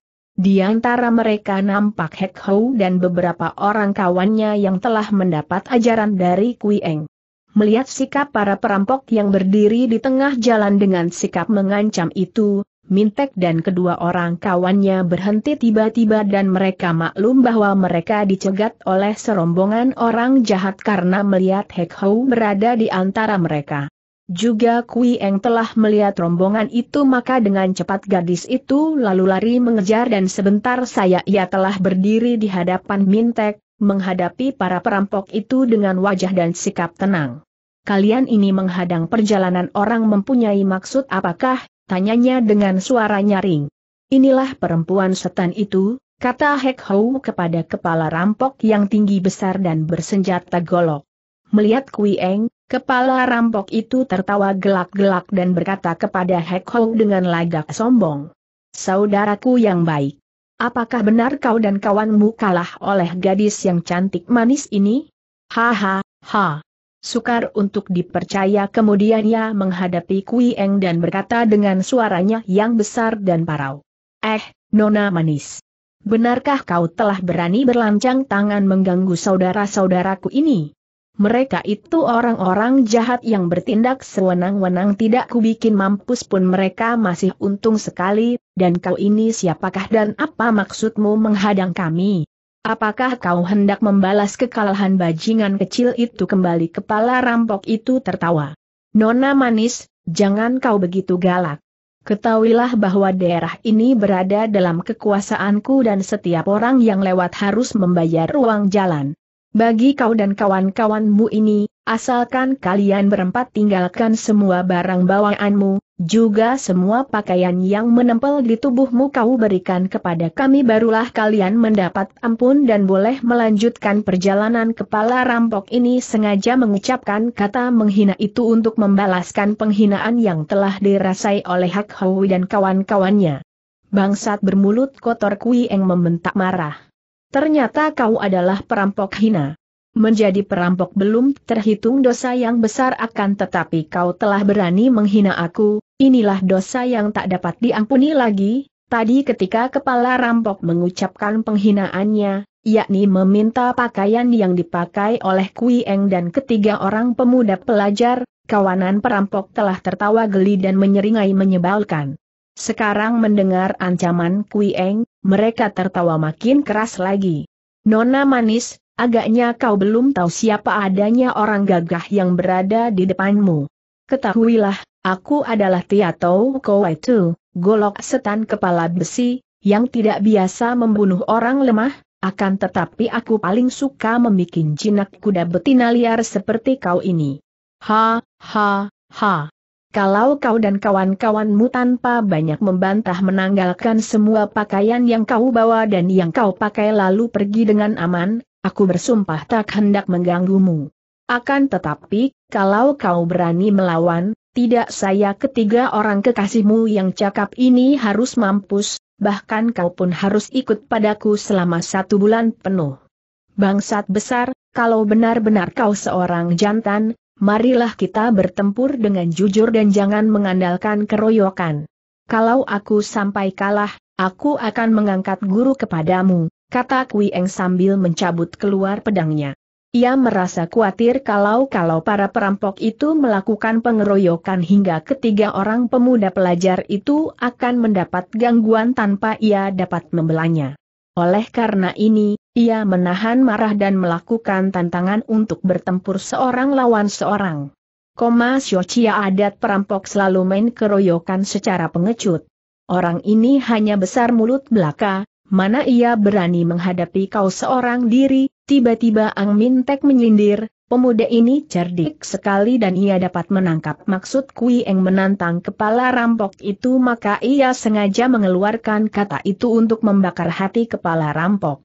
Benar saja, Tiatou Kou itu menjadi marah sekali hingga ia memutar-mutar goloknya sambil menghampiri Mintek yang tetap tenang saya dan tidak berkisar dari tempatnya berdiri.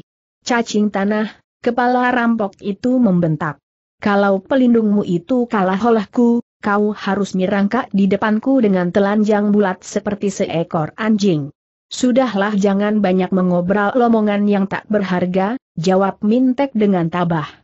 Kalau kau memang berani menghadapi dia, lawanlah dengan golokmu, bukan dengan mulutmu yang kotor makin marahlah kepala rampok itu dan sekali ia mengajunkan tangan, goloknya bersiutan. Menyambar ke arah leher Mintek.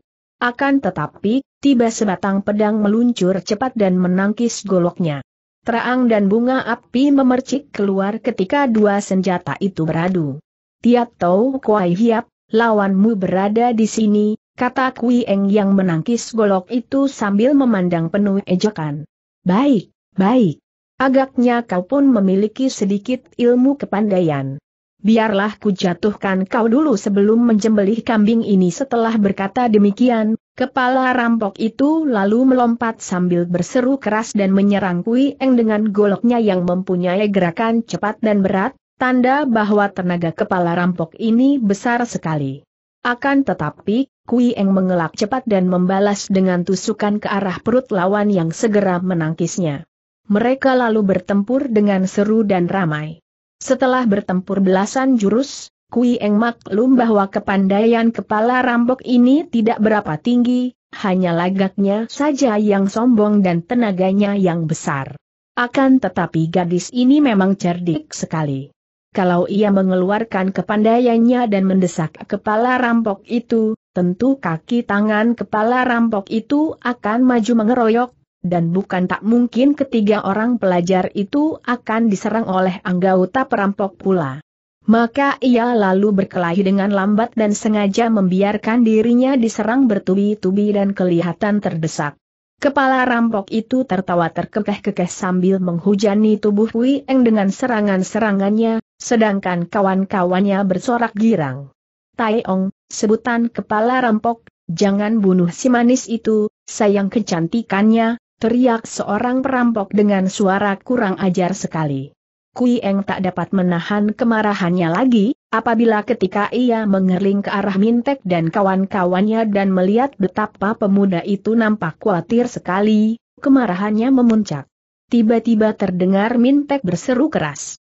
Tai Ong, kau boleh ganggu kami dan boleh rampas semua barang kami akan tetapi janganlah kau berani ganggu nona itu bukan perbuatan seorang laki gagah untuk mengganggu dan menghina seorang wanita Kui Eng merasa terharu sekali mendengar ucapan Mintek ini karena ternyata bahwa dalam keadaan yang tidak berdaya karena kelemahannya, pemuda itu masih berusaha menolongnya dan mengorbankan diri sendiri dengan gagah dan tak kenal takut.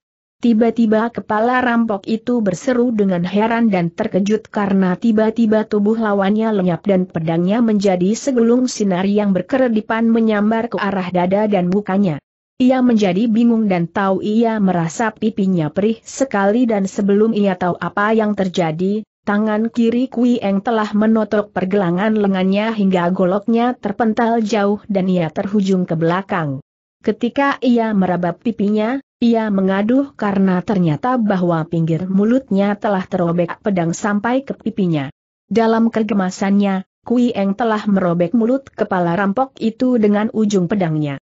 Kawanan perampok itu menjadi marah dan hendak maju mengeroyok, akan tetapi Kui Eng telah melompat di depan ketiga orang pemuda itu dan berdiri dengan gagah sambil melintangkan pedang di depan dada. Siapa sudah bosan hidup? Boleh mencoba, maju, bentaknya. Kawanan perampok menjadi ragu-ragu, empat orang yang agak tabah melompat maju berbareng, akan tetapi dengan gerak tipu halilintar menyambar pohon, Kui Eng mendahului mereka menerjang dan terdengar mereka menjerit sambil melepaskan senjata karena pedang Kui Eng telah melukai lengan mereka dengan gerakan yang cepat. Sekali dan yang tak dapat dilihat datangnya. Perampok-perampok yang lain menjadi terkejut sekali dan mereka segera mundur sambil membawa kawan-kawan mereka yang terluka. Ang Mintek dan kedua kawannya merasa kagum sekali. Untuk kedua kalinya gadis pendekar itu telah menolong jiwa mereka dengan gagah berani. Saking girang dan terharunya, Mintek lalu menjatuhkan diri berlutut di depan Kui Eng. Telah dua kali Xiao menolong kami hingga kami berhutang nyawa kepadamu. Dengan apakah kami harus membalas budi yang tak terkira besarnya ini sambil tersenyum manis Kui Eng memegang kedua pundak Mintek dan mengangkatnya bangun sambil berkata, Kongcu, sudah selayaknya bagi manusia untuk saling tolong-menolong. Untuk apakah aku belajar silat kalau aku tidak mempergunakan ilmu kepandaian itu untuk menolong sesama hidup dan membasmi kejahatan? Sebaliknya kau, Angkoncu, yang tidak memiliki ilmu kepandaian silat, namun kau memiliki ketabahan yang mengagumkanku bahkan kau telah berani mencoba membelaku. Dalam hal kegagahan kau tidak kalah oleh pendekar lain yang berilmu tinggi.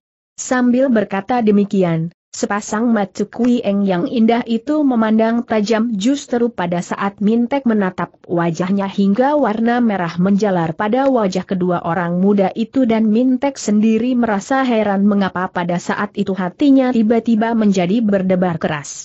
Karena hari menjelang senja, mereka lalu melanjutkan perjalanan dengan cepat karena di luar hutan itu terdapat sebuah kota di mana mereka dapat bermalam.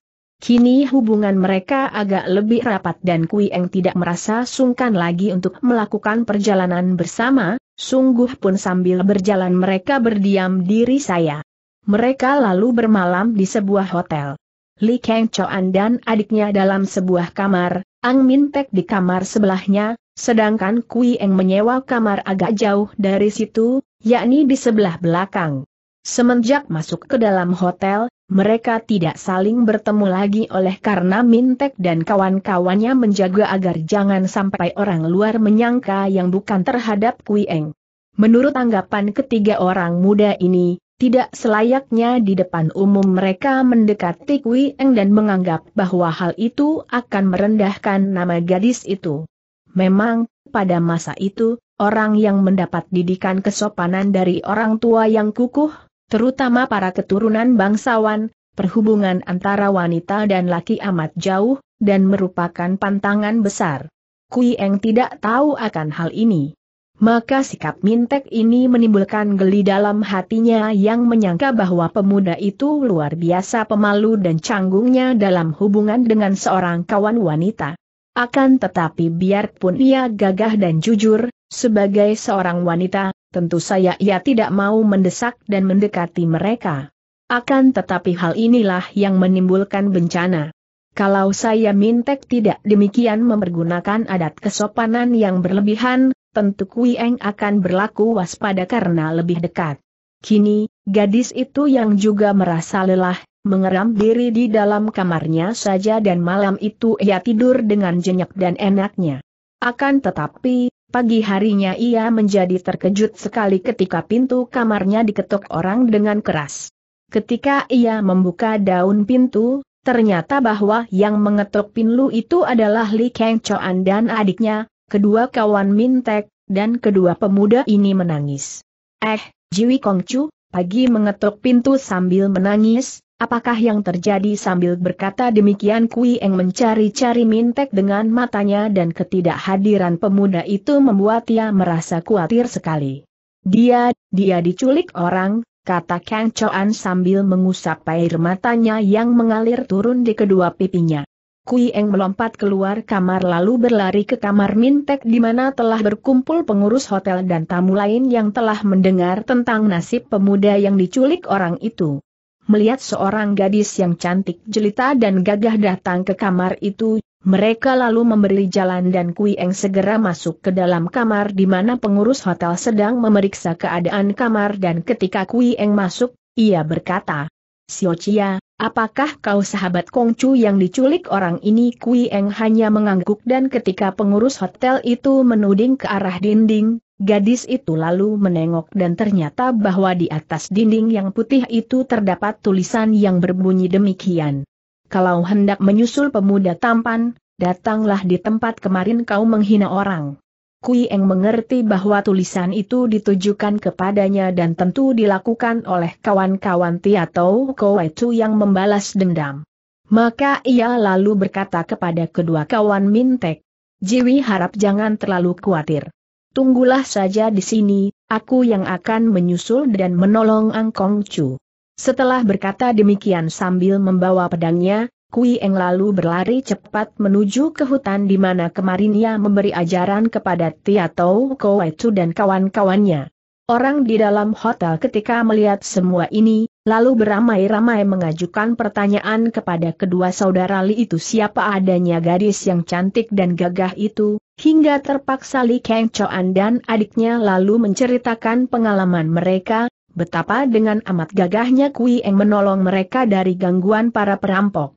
Tentu saja hal ini membuat semua orang menjadi kagum sekali dan sebentar saya nama Kui Eng menjadi buah tutur orang di kota itu. Kui Eng yang berlari cepat sekali dengan hati penuh kecemasan memikirkan nasib Mintek, sebentar saja sudah tiba di hutan yang kemarin dan tepat sebagaimana dugaannya di situ telah menanti Tiatau Kowetu dan kawan-kawannya. Di depan sekali berdiri seorang laki-laki tua yang bertubuh tinggi besar, bermata lebar dan bersikap gagah sekali. Laki-laki ini usianya sudah 50 tahun lebih dan yang mengherankan ialah bahwa alisnya telah berwarna putih seluruhnya, padahal rambut di kepalanya masih hitam. Jenggotnya yang tipis panjang itu pun masih berwarna hitam. Karena keanehan pada alisnya inilah yang membuat ia disebut orang pedilojin, kakek alis putih. Kakek ini adalah seorang tokoh persilatan yang terkenal sekali karena kelihayannya dan Tiatou Kowecu adalah seorang di antara murid-muridnya yang banyak jumlahnya. Kemarin, ketika dilukai pipinya oleh Kui Eng, dengan hati mengandung penasaran, malu dan terhina, Tiatou Kowecu lalu lari ke tempat tinggal suhunya yang tidak jauh dari situ letaknya. Sambil menangis dan memperlihatkan luka pada mukanya, Kepala rampok ini menceritakan kepada suhunya betapa ia telah diserang dan dikalahkan oleh seorang wanita ketika ia sedang berusaha merampok tiga orang sastrawan muda. Memang bagi Pedilojin tidak ada salahnya kalau muridnya menjadi orang-orang Liok Lim. Pada dewasa itu, memang keadaan negara sedang kacau-kacaunya, dan orang yang merasa penasaran dan tidak suka kepada kaisar dan kaki tangannya, banyak yang menceburkan diri menjadi perampok. Pek Bilojin adalah seorang tua yang gagah dan jujur, maka ia telah memberi peringatan dan petaruh keras kepada semua muridnya yang menjadi anggota Liok Lim agar supaya melakukan perampokan dengan memilih dan beraturan. Karena pelajar-pelajar yang hendak melakukan ujian di kota raja juga dianggap sebagai keluarga pembesar atau calon pembesar, maka ketika ia mendengar betapa muridnya terluka hebat dan mendapat penghinaan ketika sedang merampok tiga orang pelajar yang menuju ke kota raja, Pek Bilojin menjadi marah sekali. Malam hari tadi ia mempergunakan kepandaiannya mendatangi hotel di mana Mintek dan kawan-kawannya bermalam. Ia menculik pemuda Siang itu dan sengaja meninggalkan tulisan di dinding untuk menantang Kui Eng.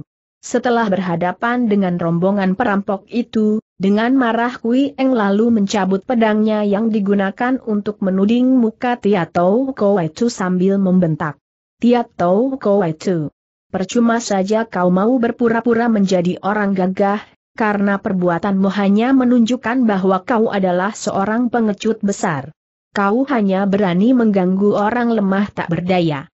Ayo kau lepaskan Angkong Chu dengan baik-baik, kalau tidak jangan kau sesalkan apabila aku menggunakan pedang untuk membasmi habis semua penjahat yang berada di sini. Gagah benar, tiba-tiba kakek beralis putih itu berseru. Nona, ketahuilah, yang menculik Angkong Chu bukan lain orang akan tetapi aku sendiri. Aku takkan mengganggu Angkong Cu karena maksudku tak lain hanya hendak mengundang kau datang ke sini Kui Eng memandang kakek itu dan melihat sikapnya ia maklum bahwa kakek ini bukanlah orang sembarangan. Maka ia lalu menjura dan berkata, dengan siapakah aku yang muda berhadapan? Nona muda yang gagah perkasa. Dengarlah, Aku orang tua yang lemah tiada guna disebut orang pedilojin dan Tiatau Kowetu ini adalah seorang muridku. Kau yang gagah ini mengapa telah berlaku kejam melukai muridku secara menghina sekali dan mengapa pula kau memusuhi golongan Liok Lim? Apakah kau menganggap dirimu yang paling pandai di kolong langit ini Kui Eng yang baru saja menerjunkan diri di kalangan Kang Ou, belum pernah mendengar nama Pedilojin, maka katanya dengan geram. Lon Hyong, kalau kepala rampok ini benar-benar muridmu, maka kau pun ikut bertanggung jawab. Kalau saja ia melakukan perampokan dengan menggunakan aturan, minta sumbangan sekadar biaya hidup anak buahnya, aku tentu tidak berani mengganggu dan bahkan dengan senang hati akan membantunya. Akan tetapi, dia membuka mulut besar, berlaku sewenang-wenang kepada tiga orang pelajari yang lemah, bahkan dia telah berani mengeluarkan ucapan kasar dan kotor untuk menghinaku. Memang aku sengaja merobek mulutnya karena mulutnya lah yang amat jahat dan kotor. Pek Bilojin terkenal mempunyai adat yang keras akan tetapi adil dan jujur sekali. ketika ia menculik Mintek dan membawa pemuda itu ke hutan. Mintek menjelaskan kepadanya tentang kejahatan Ti atau itu yang berlaku sewenang-wenang menghina orang. Melihat sikap Mintek yang biarpun lemah akan tetapi gagah berani dan sedikit pun tidak memperlihatkan rasa takut itu. Pek Bilojin sudah merasa tertarik dan kagum, akan tetapi ia belum mempercayai penuh kata-kata pemuda itu. Betapapun juga, ia melarang keras muridnya untuk mengganggu Mintek dan menahan pemuda itu dalam sebuah pondok di dalam hutan. Kini mendengar ucapan Kui Eng yang gagah, ia lalu memandang kepada muridnya dan membentak. Apakah kau masih hendak menyangkal pula Ti atau Kowai Chu memang amat takut kepada suhunya, maka, sambil menjatuhkan diri berlutut di depan orang tua itu, ia berkata lemah. Teocu masih belum tahu kesalahan apakah yang Teocu telah lakukan. Mohon diberi penjelasan, suhu. Ia membela diri. Hektometer, hektometer, bagus sekali, Tiatou kau itu. Kulihat kau masih menghormat dan menghargai suhumu, kata Kui Eng sambil tersenyum sindir. Kau masih belum mau menerima salah? Kau telah memerintahkan aku meninggalkan semua barang, bahkan pakaian yang kupakai baru boleh melanjutkan perjalanan bukankah itu berarti bahwa kau amat menghinaku sebagai seorang wanita? Kemudian, bukankah mulutmu pula yang mengatakan bahwa kalau aku kalah bertanding, ketiga pemuda itu akan kau bunuh dan aku harus ikut kau selama satu bulan? Dan mulutmu yang kotor pula yang memaki aku sebagai kekasih ketiga pemuda itu. Tiap tahu kau itu, kalau aku ingat lagi akan ucapan-ucapanmu yang kotor itu, mau rasanya aku menambah sebuah tusukan lagi pada mulutmu. Betulkah itu, Pek Bilojin membentak muridnya dengan mata berapi. Tiap tahu kau itu tidak berani menjawab, hanya menundukkan kepalanya. Betul atau tidak, Ajoh jawab, kakek itu kembali membentak dengan suara menggeledek hingga tidak saya tahu kau itu menjadi pucat. Bahkan kawan-kawan kepala rampok itu pun berdiri sambil menundukkan kepala dengan kedua kaki menggigil. Teocu mohon ampun, suhu, ucapan itu Teocu keluarkan karena sedang marah.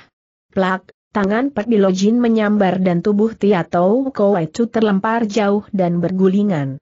Kepala rampok itu merintih-rintih dan ternyata bahwa pipi kanannya yang tidak terluka pedang Kui Eng telah ditampar dan kini membengkak matang biru, sedangkan dari mulutnya mengalir darah. Sekali lagi kau lakukan perbuatan keji dan pengecut mencemarkan nama orang yang menjadi gurumu, pasti akan kucabut nyawamu, kata kakek alis putih itu dengan geram. Muridmu kena bujukan seorang penjahat rendah bernama Hek Hong, maka maafkanlah dia, Lon Hyong, kata Kui Eng yang merasa ngeri dan kasihan juga melihat nasib kepala rampok itu. Nona, kalau begitu aku sudah melakukan kekeliruan dengan menculik pemuda itu, karena ternyata bahwa kau bukanlah seorang sombong sebagaimana yang kukira semula. Akan tetapi bagaimanapun juga, aku mempunyai semacam penyakit, yakni apabila bertemu dengan orang gagah, tua maupun muda, Sebelum mencoba ilmu kepandaiannya, hatiku selalu akan merasa penasaran dan tidak bisa tidur. Maka, janganlah sia-siakan kedatanganmu ini, Nona, dan berilah sedikit pengajaran kepada orang tua yang tak tahu diri ini. Lon Hyong, kalau hanya ingin mengajak Pibu, mengapa tidak langsung saja mendatangi aku? Mengapa harus mengganggu seorang pemuda pelajar yang melakukan perjalanannya hendak menempuh hujan di kota raja? Kui Eng mencela dengan tegurannya. Angkong Chu telah menceritakan kepadaku bahwa kau dan ketiga pemuda itu tidak mempunyai hubungan apa-apa, maka bukan main heranku mengapa kau demikian memperhatikan nasibnya, kata Pet hingga wajah Kui Eng berubah menjadi merah. Orang tua itu lalu menyuruh seorang anggota perampok untuk menjemput Angkong Chu. Setelah Mintek muncul dalam keadaan selamat, Kui Eng merasa lega sementara itu, pemuda itu memandang kepada Kui Eng dengan perasaan penuh keharuan dan kekaguman. Kembali gadis pendekar itu yang menolongnya, bahkan berani mendatangi sarang perampok dan bertaruh keselamatan diri sendiri untuk menolongnya. Akan tetapi, di depan para perampok itu, Kui Eng tidak sudi memperlihatkan perasaannya terhadap pemuda pelajar itu, maka ia hanya memandang sekilas dan kemudian kepada Perbilojin. Lon Hyong, setelah kau membebaskan kembali Angkong Chu, maka perkenankanlah kami meninggalkan tempat ini. Eh eh nanti dulu, Nona. Sudah kukatakan tadi bahwa sebelum mengukur kepandaian seorang gagah yang kebetulan bertemu dengan aku maka aku akan merasa penasaran. Marilah kita main sebentar untuk menambah pengalaman, kemudian baru kau boleh pulang bersama Angkong Cukwi yang merasa ragu karena khawatir kalau ini hanya merupakan tipu muslihat belaka, akan tetapi Mintek berkata dengan suaranya yang nyaring. Pek Bilojin adalah seorang enghiong sejati, maka ia pasti akan memegang teguh janjinya mendengar ini, Pek Bilojin tersenyum dan berkata, Nona Kuieng, aku mendengar bahwa ilmu pedangmu hebat sekali aku orang tua yang bodoh pernah mempelajari sedikit ilmu kepandaian golok, maka ingin sekali aku mencoba ilmu pedangmu yang lihai itu. Marilah, dan jangan kau berlaku sungkan. Sambil berkata demikian, Tangan kanan kakek itu bergerak ke arah punggung dan tahu-tahu ia telah mencabut keluar sebilah golok tipis yang ringan akan tetapi tajam sekali. Melihat gerakan ini, diam-diam Kui Eng merasa terkejut karena maklum akan kelihayan kakek ini, maka ia berlaku hati-hati sekali dan tidak mau menyerang lebih dulu. Silahkanlah, Lon Hyong, katanya sambil membelintangkan pedang di dadanya. Ha, ha, kau terlalu sungkan, kata Pedilojin yang lalu melangkah maju dan mulai menyerang sambil berseru, awas golok ilmu golok Pedilojin adalah semacam ilmu golok liai yang berdasarkan lohon Hawat, yakni ilmu golok dari cabang Xiao Lim yang telah dirubah dan ditambah dengan gerakan dari lain-lain cabang. Gerakan goloknya cepat dan kuat, bagaikan seekor naga sakti, menyambar mengeluarkan angin dan suara bersiutan. Memang benar kata orang bahwa golok yang dimainkan oleh tangan seorang ahli merupakan raja senjata yang berbahaya sekali. Golok yang tipis dan lebar itu setelah dimainkan oleh Pedilojin, lenyap bentuk goloknya dan berubah menjadi sinar putih yang bergulungan dan mengeluarkan sinar berkeredipan. Tidak hanya para perampok, akan tetapi juga Mintek yang tidak mengerti ilmu silat, menjadi kagum sekali melihat permainan golok yang benar indah itu. Dalam hati pemuda ini lalu timbul kekhawatiran bagi keselamatan Kui Eng. Sanggupkah gadis itu menghadapi permainan golok sehebat ini? Akan tetapi, Kui Eng adalah seorang gadis berbakat yang telah mendapat gemblengan dari suhunya. Permainan pedangnya hebat, ginkangnya sudah mencapai tingkat tinggi. Ia berhati tabah dan tenang, bagaikan seekor naga betina muda yang baru turun dari langit dan bersemangat besar berhati tabah. Biarpun ia maklum bahwa kakek ini hebat sekali permainan goloknya namun sedikit pun ia tidak merasa ngeri atau gentar. Ia memainkan pedangnya dengan sama cepatnya dan mempergunakan ginkangnya untuk berkelebat ke sana kemari dengan lompatan gesit sekali menghindarkan diri dari sambaran sinar golok dan membalas dengan serangan-serangan cukup kuat dan cepat. Makin lama, Pertempuran itu berjalan makin cepat hingga akhirnya semua mata yang menyaksikan pertempuran itu menjadi berkunang dan kabur karena tubuh kedua orang itu telah lenyap terbungkus gulungan sinar golok dan pedang yang diputar luar biasa cepatnya. Hanya bunyi golok beradu dengan pedang yang nyaring serta bunga api yang berhamburan setiap kali kedua senjata itu beradu menyatakan kepada mereka bahwa di dalam gundukan sinar pedang dan golok itu terdapat orang yang sedang mengadu kepandaian. Hanya kedua orang yang sedang bertempur itu saja yang maklum bahwa dalam hal kepandaian silat, bahwa ilmu kepandaian Pak Bilojin lebih tinggi setingkat dan lebih matang permainan goloknya, akan tetapi kakek ini harus mengakui bahwa dalam hal ilmu meringankan tubuh, gadis itu masih lebih menang. Maka tak terkira rasa kagumnya melihat kegagahan gadis muda itu karena selama ini belum pernah ia menyaksikan kelihayan seorang muda seperti gadis ini. Ia memperhebat gerakan goloknya hingga Kui Eng terpaksa mundur dan melindungi dirinya dengan putaran pedangnya dan mempergunakan ginkangnya. Tiba-tiba Pedilojin merubah gerakan goloknya dan memainkan Te Tong Tu, yakni permainan golok sambil bergulingan di atas tanah. Sambil bergulingan, goloknya membabat ke arah kaki lawan. Menghadapi serangan yang cepat dan berbahaya ini, Kui Eng terkejut sekali hingga terpaksa melompat tinggi dengan maksud membalas serangan dari atas dengan kaki di atas kepala di bawah. Akan tetapi, tidak taunya Jin memiliki kegesitan yang hebat, hingga sebelum gadis itu dapat berjungkir balik di udara, kakek itu telah melompat berdiri dan menggunakan gagang golok untuk memukul kaki Kui Eng. Akan tetapi, dalam keadaan terdesak hebat itu, Kui Eng memperlihatkan ginkangnya yang benar-benar lihai. Ketika ia dulu mempelajari ginkang, suhunya menyuruhnya berlompatan di atas ujung bambu runcing yang dipasang di atas tanah, bahkan setelah kepandaiannya itu menjadi matang, Suhunya memegang dua batang bambu runcing dan menyuruh Kui Eng melompat ke atas dan berdiri di atas bambu yang dipegangnya itu sambil melompat lagi dan bermain-main di atas kedua bambu runcing yang dipegangnya. Kini, melihat serangan golok ke arah kakinya sedangkan tubuhnya masih terkatung di udara, Kui Eng lalu menggunakan ujung kaki untuk menginjak gagang golok dan sekali ia anjot tubuhnya, maka tubuhnya mencelat lagi ke atas dan segera melayang ke tempat yang jauhnya tidak kurang dari lima tombak. Bukan main kagumnya Jin melihat ginkang yang hebat ini, maka ia segera menghampiri setelah menyelipkan goloknya di punggung. Kui Eng juga menyimpan pedangnya dan menjura. Long Hiong sungguh niai, aku menyerah kalah. Ah, Nona Kui Eng, kau terlampau merendahkan diri. Ginkangmu sungguh membuat mataku yang tua menjadi lebar. Kau benar-benar patut dipuji. Tidak tahu, siapakah suhumu yang mulia? Suhuku bernama Luisian Lojin dari SWI Hoasan, jawab Kui Eng. Tak tersangka-sangka olehnya ketika mendengar jawaban ini, Pek Bilojin segera menjura dengan amat hormatnya, bahkan Tiatau Kowaitu lalu menjatuhkan dirinya berlutut. Ah, maaf, Maaf tidak taunya Li Hiap adalah murid Inkong, Chuan penolong, kami, kata Pedilojin sambil menarik napas panjang kemudian berkata kepada Tiatou Kowaitu. Hektometer, kalau hal ini terdengar oleh Inkong, di mana harus menyembunyikan muka kami?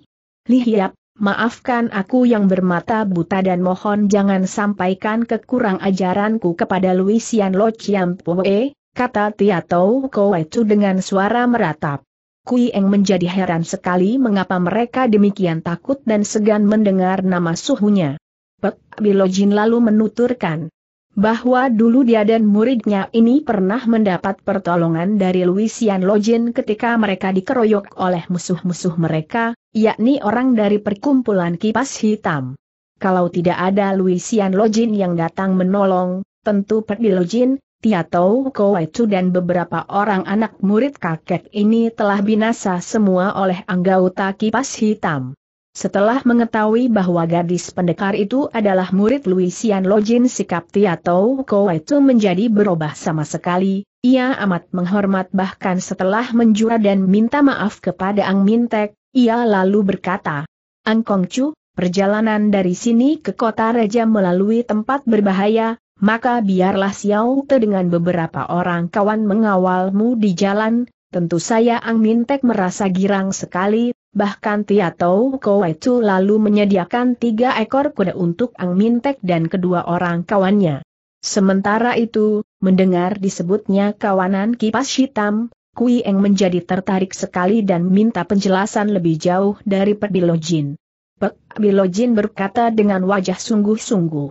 Lihiap, Sebetulnya, ketika menyaksikan kepandaianmu tadi, timbul niatku untuk minta pertolongan Lihiap, yaitu untuk mengawaniku menyerbu ke sarang mereka, karena dengan tenaga kita berdua, kurasa kita cukup kuat untuk menghadapi tiga orang ketua kipas hitam yang kuat itu. Akan tetapi, karena Lihiap sedang melakukan perjalanan ke kota raja, tentu saja aku tidak berani menghalangi dan mengganggu maksud perjalanan Lihiap, Kui Eng memandang kepada Mintek yang masih berada di situ. Sebetulnya, ia tidak mempunyai kepentingan sesuatu di kota raja, dan kepergiannya ke kota raja sesungguhnya hanya karena ingin melindungi pemuda itu, ia lalu menyawab. Aku tidak mempunyai tujuan tertentu dalam perjalananku, dan aku hanya pergi ke mana saja kedua kakiku membawa diriku, dari pandang mata gadis itu, Ang Min Tek maklum bahwa gadis ini bermaksud minta persetujuannya, maka ia lalu berkata cepat-cepat. Xiao Te bertiga mana berani berlaku keterlaluan dan mengganggu Kui Xiao Sekarang setelah ada saudara ini yang berlaku demikian baik hati untuk mengawal Xiao Te sama sekali tidak berani membuat lelah kepada Kui Xiao Hanya pengharapan Xiao Te, apabila Xiao mengunjungi kota raja, dan ada waktu, hendaknya sudi mampir di pondok pamanku yang buruk, yakni di toko obat Yok Go Antong. Atas bantuan dan pembelaan Kui Xiao yang sudah, Xiao Te bertiga sampai mati pun takkan dapat melupakannya, ia lalu menjura dengan penuh hormat kepada Kui Eng yang memandangnya dengan penuh perasaan terharu, ia merasa kecewa juga harus berpisah dengan pemuda yang amat menarik hatinya itu, maka jawabannya, Angkong Chu, tidak ada budi dan terima kasih antara kita. Lupakanlah saja hal yang sudah lewat. Siapa tahu, lain kali akulah yang harus mendapat bantuanmu. Apabila aku pergi ke kota raja, pasti akan kucari toko obat itu. Kemudian, setelah memandang sekali lagi dengan penuh pernyataan terima kasih memancar keluar dari sepasang matanya yang tajam, Mintek lalu meninggalkan tempat itu sambil naik kuda, dikawal oleh Tiatou Kowaitu dan lima orang kawannya sambil menuntun dua ekor kuda untuk Li Kang Choan dan Li Kang Po. Sementara itu, Kui Eng yang ditinggal berdua saja dengan Pek Bilojin, lalu duduk di bawah pohon dan mendengar cerita kakek itu tentang perkumpulan kipas hitam yang jahat itu. Perkumpulan kipas hitam ini sebetulnya adalah segerombolan orang jahat yang berorganisasi dan bersarang di atas Bukit Makunsan. Mereka tidak saja menjalankan pekerjaan sebagai perampok, akan tetapi juga ada bagian yang melakukan pemerasan di dusun. Mengancam kepala kampung untuk memberi sumbangan dengan jumlah besar yang telah ditentukan. Juga merampas hasil-hasil sawah untuk ransum mereka. Jumlah pengikut mereka cukup banyak, kurang lebih ada seratus orang. Mereka ini berkedudukan kuat sekali oleh karena dipimpin oleh tiga orang bersaudara yang bernama Ken Kok, Kenan, dan Ken Sam, tiga orang jagoan yang memiliki ilmu kepandaian tinggi. Dulu, beberapa belas tahun yang lalu, ketika perkumpulan ini masih dipimpin oleh Susyok dari ketiga orang itu yang bernama Lau Pit Hosio, Perkumpulan ini merajalela dengan buasnya hingga membuat Perdilojin merasa marah dan membawa anak muridnya menyerbu ke sarang mereka yang dulu berada di sebuah hutan besar. Akan tetapi, kekuatan perkumpulan kipas hitam demikian besar. Hingga hampir saya Perdilojin dan semua muridnya terbunuh mati dalam pertempuran kalau saya tidak datang Luisian Lojin yang kebetulan melakukan perjalanan merantau. Berkat pertolongan Luisian Lojin, Lau Pit Hosyo dapat dibinasakan dan perkumpulan itu diobrak-abrik hingga menjadi bubar. Akan tetapi, diam-diam ketiga saudara Ken itu melatih diri dan mengumpulkan kekuatan lagi, lalu mendirikan perkumpulan itu kembali yang kini bersarang di puncak Bukit Makunsan. Kedudukan mereka bahkan lebih kuat daripada dulu. Pek Bilojin yang merasa benci kepada mereka yang menjalankan pekerjaan jahat, beberapa kali mencoba untuk menyerbu, akan tetapi selalu ia terpukul mundur, bahkan banyak anak muridnya yang tewas dalam penyerbuan itu. Oleh karena ini, di antara Pedilojin dan perkumpulan kipas hitam terdapat permusuhan yang mendalam. Beberapa hari yang lalu, demikian Pedilojin melanjutkan ceritanya, dengan kurang ajar dan berani sekali mereka mengirim surat tantangan kepadaku, ia lalu mengeluarkan sehelai kertas yang berisi surat tantangan itu kepada Kui Eng. Ternyata di dalam surat yang ditanda tangani oleh Ken Kok, Kenan, dan Ken Sam, ketiga orang ketua kipas hitam itu menantang kepada Perdilojin untuk berpibu dan memutuskan siapa yang terkuat di antara mereka. Aku masih merasa ragu, oleh karena terus terang saja, apabila harus menghadapi mereka bertiga seorang diri saja, aku takkan dapat memperoleh kemenangan. Menghadapi mereka seorang demi seorang aku tidak akan kalah, akan tetapi mereka itu curang sekali dan aku masih merasa bingung bagaimana aku harus menyambut tantangan ini.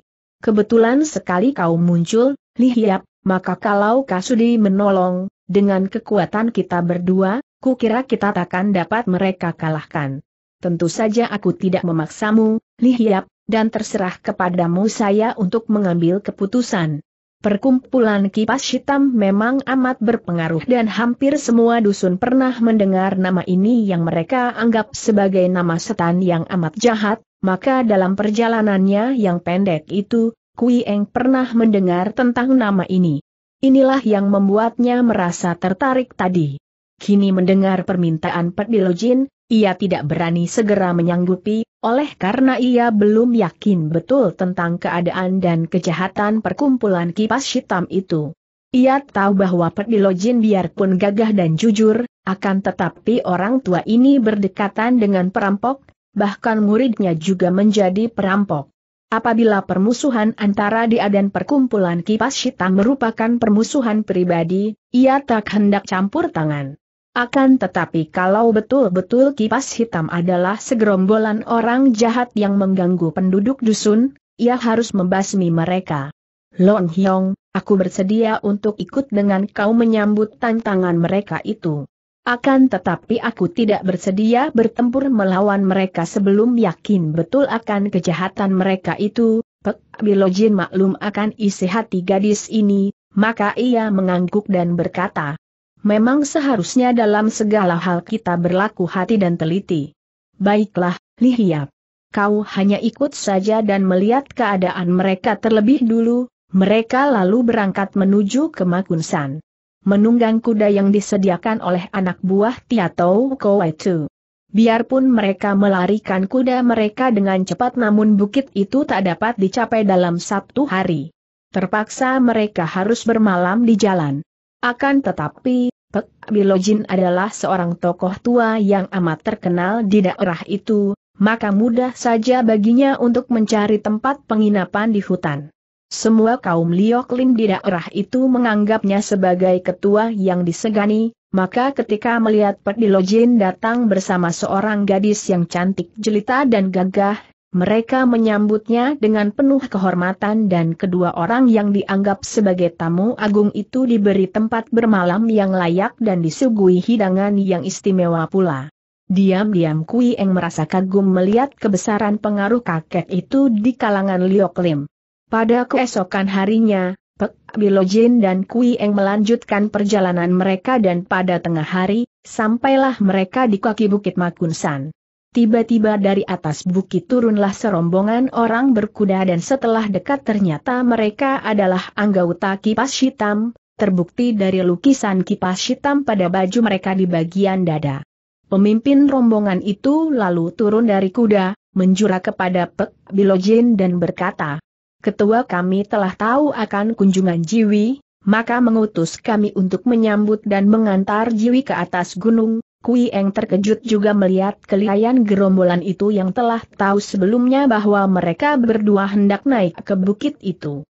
Memang gerombolan kipas hitam mempunyai penyelidik yang disebar di mana-mana, maka sehari sesudah Pedilojin dan Kui Eng berangkat ketua kipas hitam telah menerima laporan dan sengaja mengadakan penyambutan untuk memamerkan kelihayan mereka. Dengan sikap gagah Pek Belojin dan Kui Eng mengikuti para penyambut itu mendaki Bukit Makunsan yang tak berapa tinggi.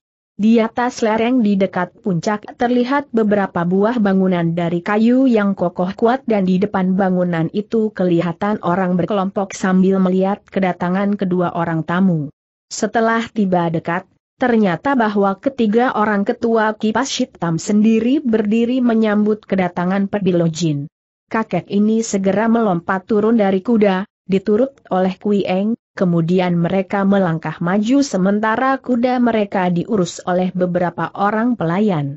Pek Bilojin, ternyata betul-betul kau orang tua datang memenuhi undangan kami, kata Kok, saudara tertua dari ketiga orang ketua kipas hitam, yang bertubuh kait dan bermuka hitam. Orang ini bicara sambil menggunakan kipasnya yang lebar dan berwarna hitam untuk mengebut-ngebut tubuhnya. Kui Eng memperhatikan ketiga orang ketua itu. Usia mereka rata-rata sudah 40 tahun lebih, akan tetapi mereka masih nampak gagah. Ken Kok bermuka hitam bertubuh pendek dan kepalanya besar. Sepasang lengannya yang pendek itu nampak kuat dan berisi, sedangkan matanya yang tajam mengerling ke arah Kui Eng membayangkan kecabulan hingga gadis itu segera mengalihkan pandang matanya kepada dua orang ketua yang lain. Ken An ketua kedua, juga pendek dan Kate, akan tetapi mukanya putih dan kedua matanya bersinar-sinar menunjukkan kecerdasan otaknya. Bibirnya selalu tersenyum dan sikapnya angkuh sekali. Juga ketua kedua ini memegang sebuah kipas hitam yang lebar.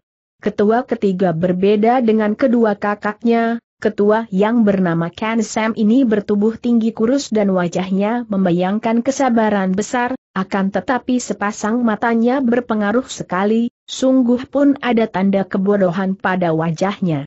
Kera ketua ketiga ini membawa kipasnya membuat hati Kui Eng bercekat karena kipas itu tertutup dan dijepit pada gagangnya oleh kedua jari tangannya, bagaikan orang menjepit sumpit. Dari pegangan ini dapat diduga bahwa ia adalah seorang ahli totok jalan darah yang berbahaya. Memang sebetulnya orang ketiga ini bukanlah adik kandung Ken Kok dan Kenan. Dia hanyalah seorang anak pungut dari orang tua kedua saudara Ken itu dan akhirnya dinamakan Sam dan memakai nama keturunan Ken pula. Ilmu silat Ken Sam memang lihai dan bahkan tidak berada di bawah tingkat kepandaian kedua kakaknya. Ia berwatak pendiam dan agak bodoh dan dalam segala hal, ia hanya mengekor kepada kedua orang kakaknya saja. Pek Bilojin setelah mendapat sambutan dari Ken Kok, lalu balas menjura dan menyawab. Samwi, kalau aku yang tua tidak memenuhi undangan kalian, tentu aku akan disebut pengecut. Samwi dengan jujur dan secara laki-laki telah mengadakan tantangan untuk berpibu, tanpa mengikut campurkan kawan atau arak buah kita maka tentu saja aku tidak dapat menolak ajakan yang jujur ini. Dalam jawaban ini, sekaligus Pedilojin menyindirkan bahwa ia tidak menghendaki keroyokan atau lain, perbuatan yang curang dalam pertempuran yang hendak diadakan ini. Tiba-tiba Ken Kok tertawa ria dan berkata sambil menunjuk ke bawah bukit. Pek Bilojin. Kau pandai menyindir, akan tetapi kau sendiri juga tidak jujur. Mengapa kau membawa anak buah sebanyak itu menyerbu ke atas Pek Bilojin terkejut dan menengok, juga Kui Eng lalu memandang ke kaki gunung, di mana nampak serombongan orang yang memegang senjata sedang mendaki bukit itu sambil berteriak-teriak. Jangan menyangka yang bukan-bukan, mereka itu tidak ada hubungannya dengan aku, kata Pedilojin setelah memperhatikan mereka itu. Dan pada saat itu, seorang anggota kipas hitam datang memberi laporan kepada ketiga orang ketuanya bahwa penduduk dusun Samelinghung telah datang menyerbu, Ken Kok tertawa sinis dan berkata, biarkan mereka naik. Hendak kulihat mereka itu menghendaki apa rombongan orang kampung itu dipimpin oleh seorang laki-laki tua yang memegang tombak, akan tetapi melihat dari napasnya yang terengah-engah ketika mendaki bukit itu, dapat diduga bahwa ia adalah seorang biasa saja yang tidak memiliki ilmu kepandaian silat. Maka Kui Eng merasa heran sekali mengapa orang itu demikian beraninya naik dan menyerbu ke sarang kipas hitam yang terkenal ganas dan kejam. Kawanan kipas hitam.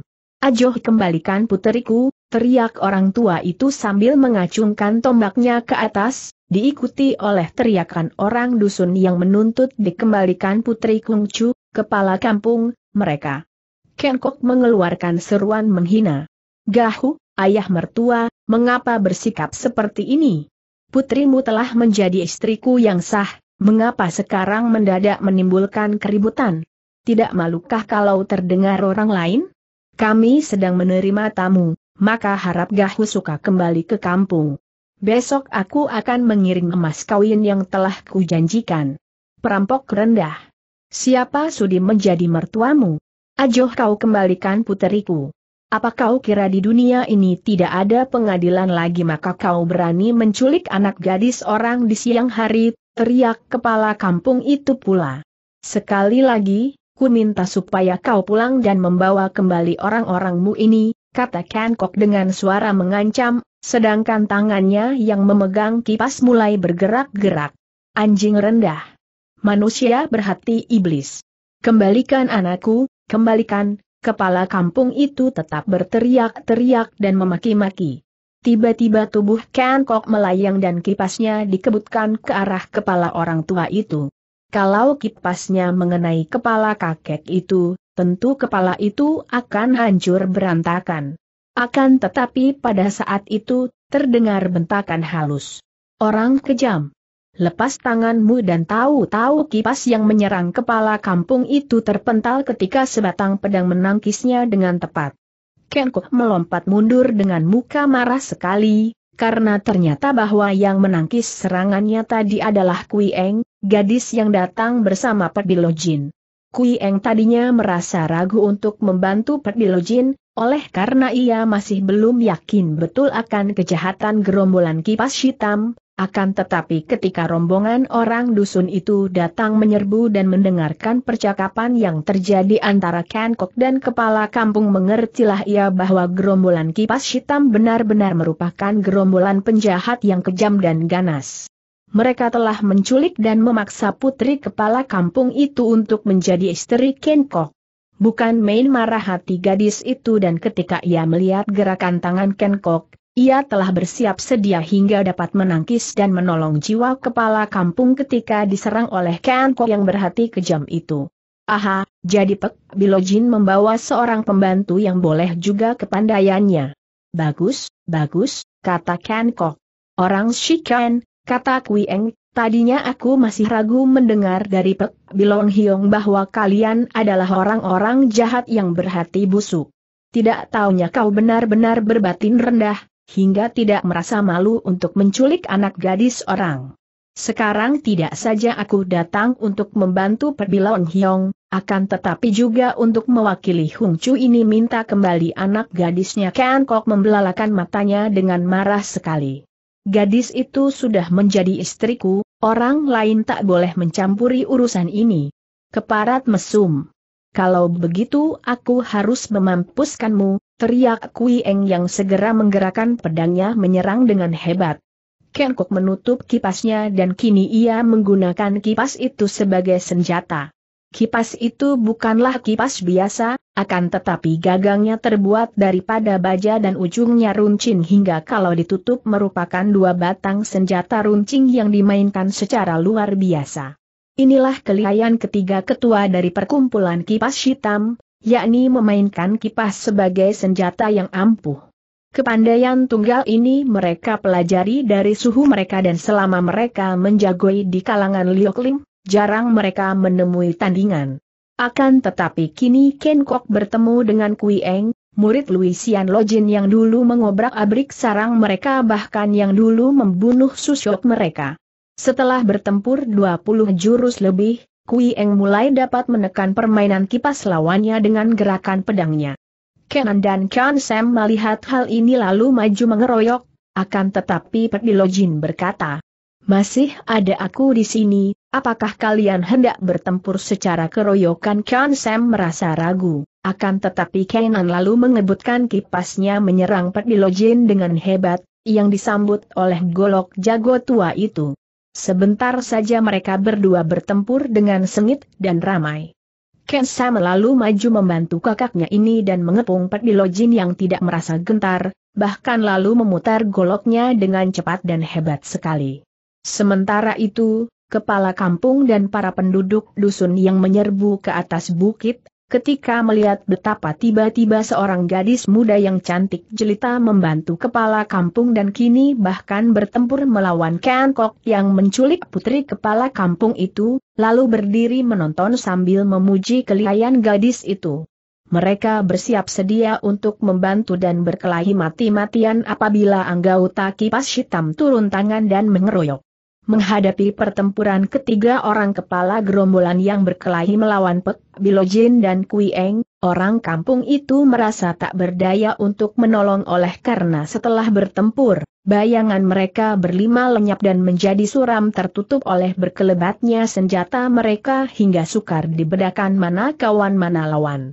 Oleh karena itu, mereka hanya menonton saja dengan mata terbelalak kagum. Biarpun ilmu kepandaiannya tinggi, Namun Ken Kok tak kuat menghadapi ilmu pedang dan kegesitan tubuh Kui Eng yang sengaja melompat ke sana kemari mempermainkan lawannya yang menjadi pusing. Tiba-tiba Ken Kok berseru keras sambil membuka kipasnya. Ketika ia mengebut, tiba-tiba dari ujung kipasnya itu menyambar keluar tiga batang jarum hitam ke arah dada Kui Eng.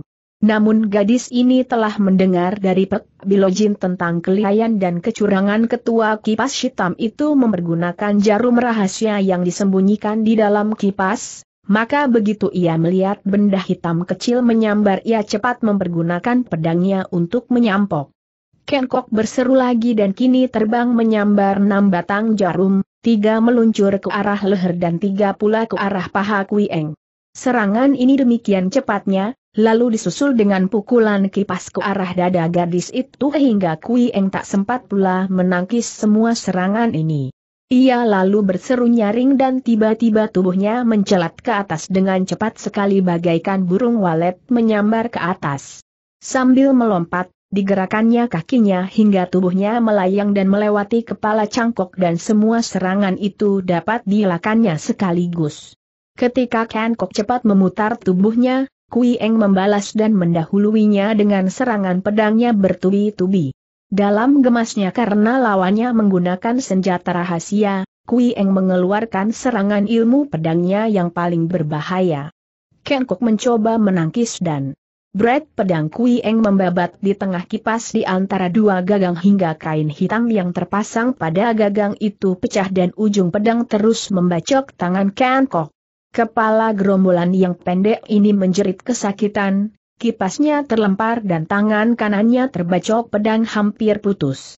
Ken Kok hendak melompat mundur, akan tetapi sebuah tendangan kaki kiri Kui Eng dengan cepat mengenai dadanya hingga ia roboh terguling tak sadarkan diri. Dalam gemasnya, Kui Eng melompat maju hendak membunuh orang jahat itu, akan tetapi tiba-tiba dari samping menyambar pukulan yang hebat hingga terpaksa ia membuang diri untuk menghindarkan diri sambil memutar pedangnya ke arah penyerangnya. Teraang pedangnya beradu dengan gagang kipas yang digunakan oleh Kian Sam untuk menyerangnya tadi ketika ketua ketiga ini berusaha menolong kakaknya. Biarpun Kian Sam tidak berhasil menyerang Kui Eng, akan tetapi ia telah menolong nyawa kakaknya dengan serangan itu. Ternyata bahwa dengan keroyokan mereka berdua, Tian An dan Kian Sam berhasil mendesak Pat Dilojin hingga kakek yang gagah ini merasa kewalahan juga. Ia hanya memutar goloknya untuk melindungi dirinya tanpa kuasa membalas sedikit pun juga. Namun berkat ilmu goloknya yang liai, kedua saudara Ken itu belum mendapat kesempatan untuk merobohkannya karena golok yang diputar itu merupakan dinding baja yang luar biasa teguhnya. Kemudian mereka mendengar jeritan Ken Kok hingga Ken Sam segera memburu dan berhasil menghindarkan Ken Kok dari bahaya maut. Kini Kui Eng bertempur melawan Ken Sam yang tidak kalah tangguhnya dari Ken Kok, bahkan tenaga luakang si tinggi kurus ini sangat luar biasa. Setelah ditinggalkan oleh Ken Sam dan hanya menghadapi seorang lawan saya, Pek Bilojin memperlihatkan keunggulannya. Goloknya menyambar-nyambar bagaikan halilintar di atas kepala kanan hingga si kate ini menjadi bingung dan terdesak hebat. Pertempuran seorang lawan seorang ini terjadi dengan lebih ramai lagi karena mereka melakukan serangan mati-matian dan mengerahkan tenaga dan kepandaian untuk merobohkan lawan. Tiba-tiba Kanan menjerit dan paha kirinya hampir putus terkena sabatan Pedilojin, akan tetapi jago tua itu pun mengeluarkan pekik kesakitan karena dalam robohnya, Kenan menyambitkan kipasnya yang dengan tepat menancap pada pundak kakek itu. Inilah ilmu kepandaian yang hebat dari Kenan. Sambitannya dilakukan pada saat ia terpelanting roboh hingga tidak diduga oleh lawan dan tenaga sambitannya ini kuat sekali. Berbareng dengan robohnya Kenan dan Pek Belojin, kawanan kipas hitam menyerbu dan Kian Sam yang sudah merasa bingung menghadapi pedang Kui Eng yang liai, cepat melompat mundur. Melihat majunya kawanan kipas hitam, orang-orang dusun dengan dekat dan bersorak-sorak gemuruh, maju sambil mengangkat senjata mereka. Kui Eng maklum bahwa orang dusun itu bukanlah lawan kawanan kipas hitam yang pandai ilmu silat, maka ia segera melompat ke arah kanan, menjerat tubuh ketua kedua itu dan melemparkannya ke dekat tubuh Ken Kok, lalu berseru nyaring. Tahan semua senjata. Ken Sam, kalau kau tidak perintahkan anak buahmu mundur, kedua kakakmu ini akan kubunuh lebih dulu sambil berkata demikian, Kui Eng menodongkan pedangnya pada Ken Kok dan Kenan yang belum mati dan yang masih merintih-rintih kesakitan. Ken Sam menjadi terkejut dan berseru. Jangan bunuh mereka, lalu ia memberi tanda dengan bersuit nyaring hingga semua anak buahnya lalu mengundurkan diri dan memandang kepada ketua mereka dengan bingung dan khawatir. Ken Sam, kita sudah berjanji untuk berkelahi dengan jujur tanpa ada pengeroyokan. Kalau kau memang laki yang gagah, apabila kau masih penasaran, marilah maju dan lawan aku sampai penentuan terakhir. Akan tetapi kalau kau hendak melakukan pengeroyokan dengan anak buahmu, aku akan mampuskan kedua saudaramu ini, kemudian aku akan membasmi semua anak buahmu. Ucapan ini dikeluarkan dengan suara keras dan nyaring serta sikap yang gagah hingga semua kawanan kipas hitam menjadi ketakutan. Dengarlah kalian, aku adalah murid dari Luisian Lojin yang dulu pernah memberi pengajaran kepada kalian. Setelah mendapat ampun dari suhu, ternyata sekarang kalian melakukan kejahatan lagi. Maka, sekali lagi sekarang aku memberi ampun kepada kalian, asalkan kalian suka melepaskan putri kepala kampung ini dan membubarkan perkumpulanmu yang jahat ini. Berjanjilah Tia Sam sebetulnya adalah seorang yang tidak jahat dan ia hanya terbawa-bawa oleh kedua kakak angkatnya, kini melihat kedua kakaknya telah dirobohkan dan tidak berdaya, maka habislah dajal lawannya dan ia tidak tahu harus berbuat apa. Melihat kegagahan Kui Eng dan mendengar bahwa Kui Eng adalah murid Luisian Lojin, ia dan kawan-kawannya menjadi gentar, maka ia lalu menyawab. Baiklah, Lihiap. Kami menurut dan harap kau ampunkan jiwa kedua kakakku. Lepaskanlah putri kepala kampung ini, perintah Kui Eng dan beberapa orang anak buah kipas hitam lalu masuk ke dalam pondok dan tak lama kemudian ia mengiringkan seorang wanita muda yang cantik dan ketika wanita itu melihat ayahnya, ia lari menubruk dan mereka bertangis-tangisan. Sekarang kalian semua harus bubar dan tinggalkan bukit ini. Kalau lain kali aku bertemu dengan seorang di antara kalian dan melihat kalian melakukan kejahatan lagi jangan menyesal apabila aku terpaksa berlaku kejam Kan Sam lalu memberi perintah dan semua anak buah kipas hitam lalu turun gunung, cerai berai dan lari mencari tempat baru.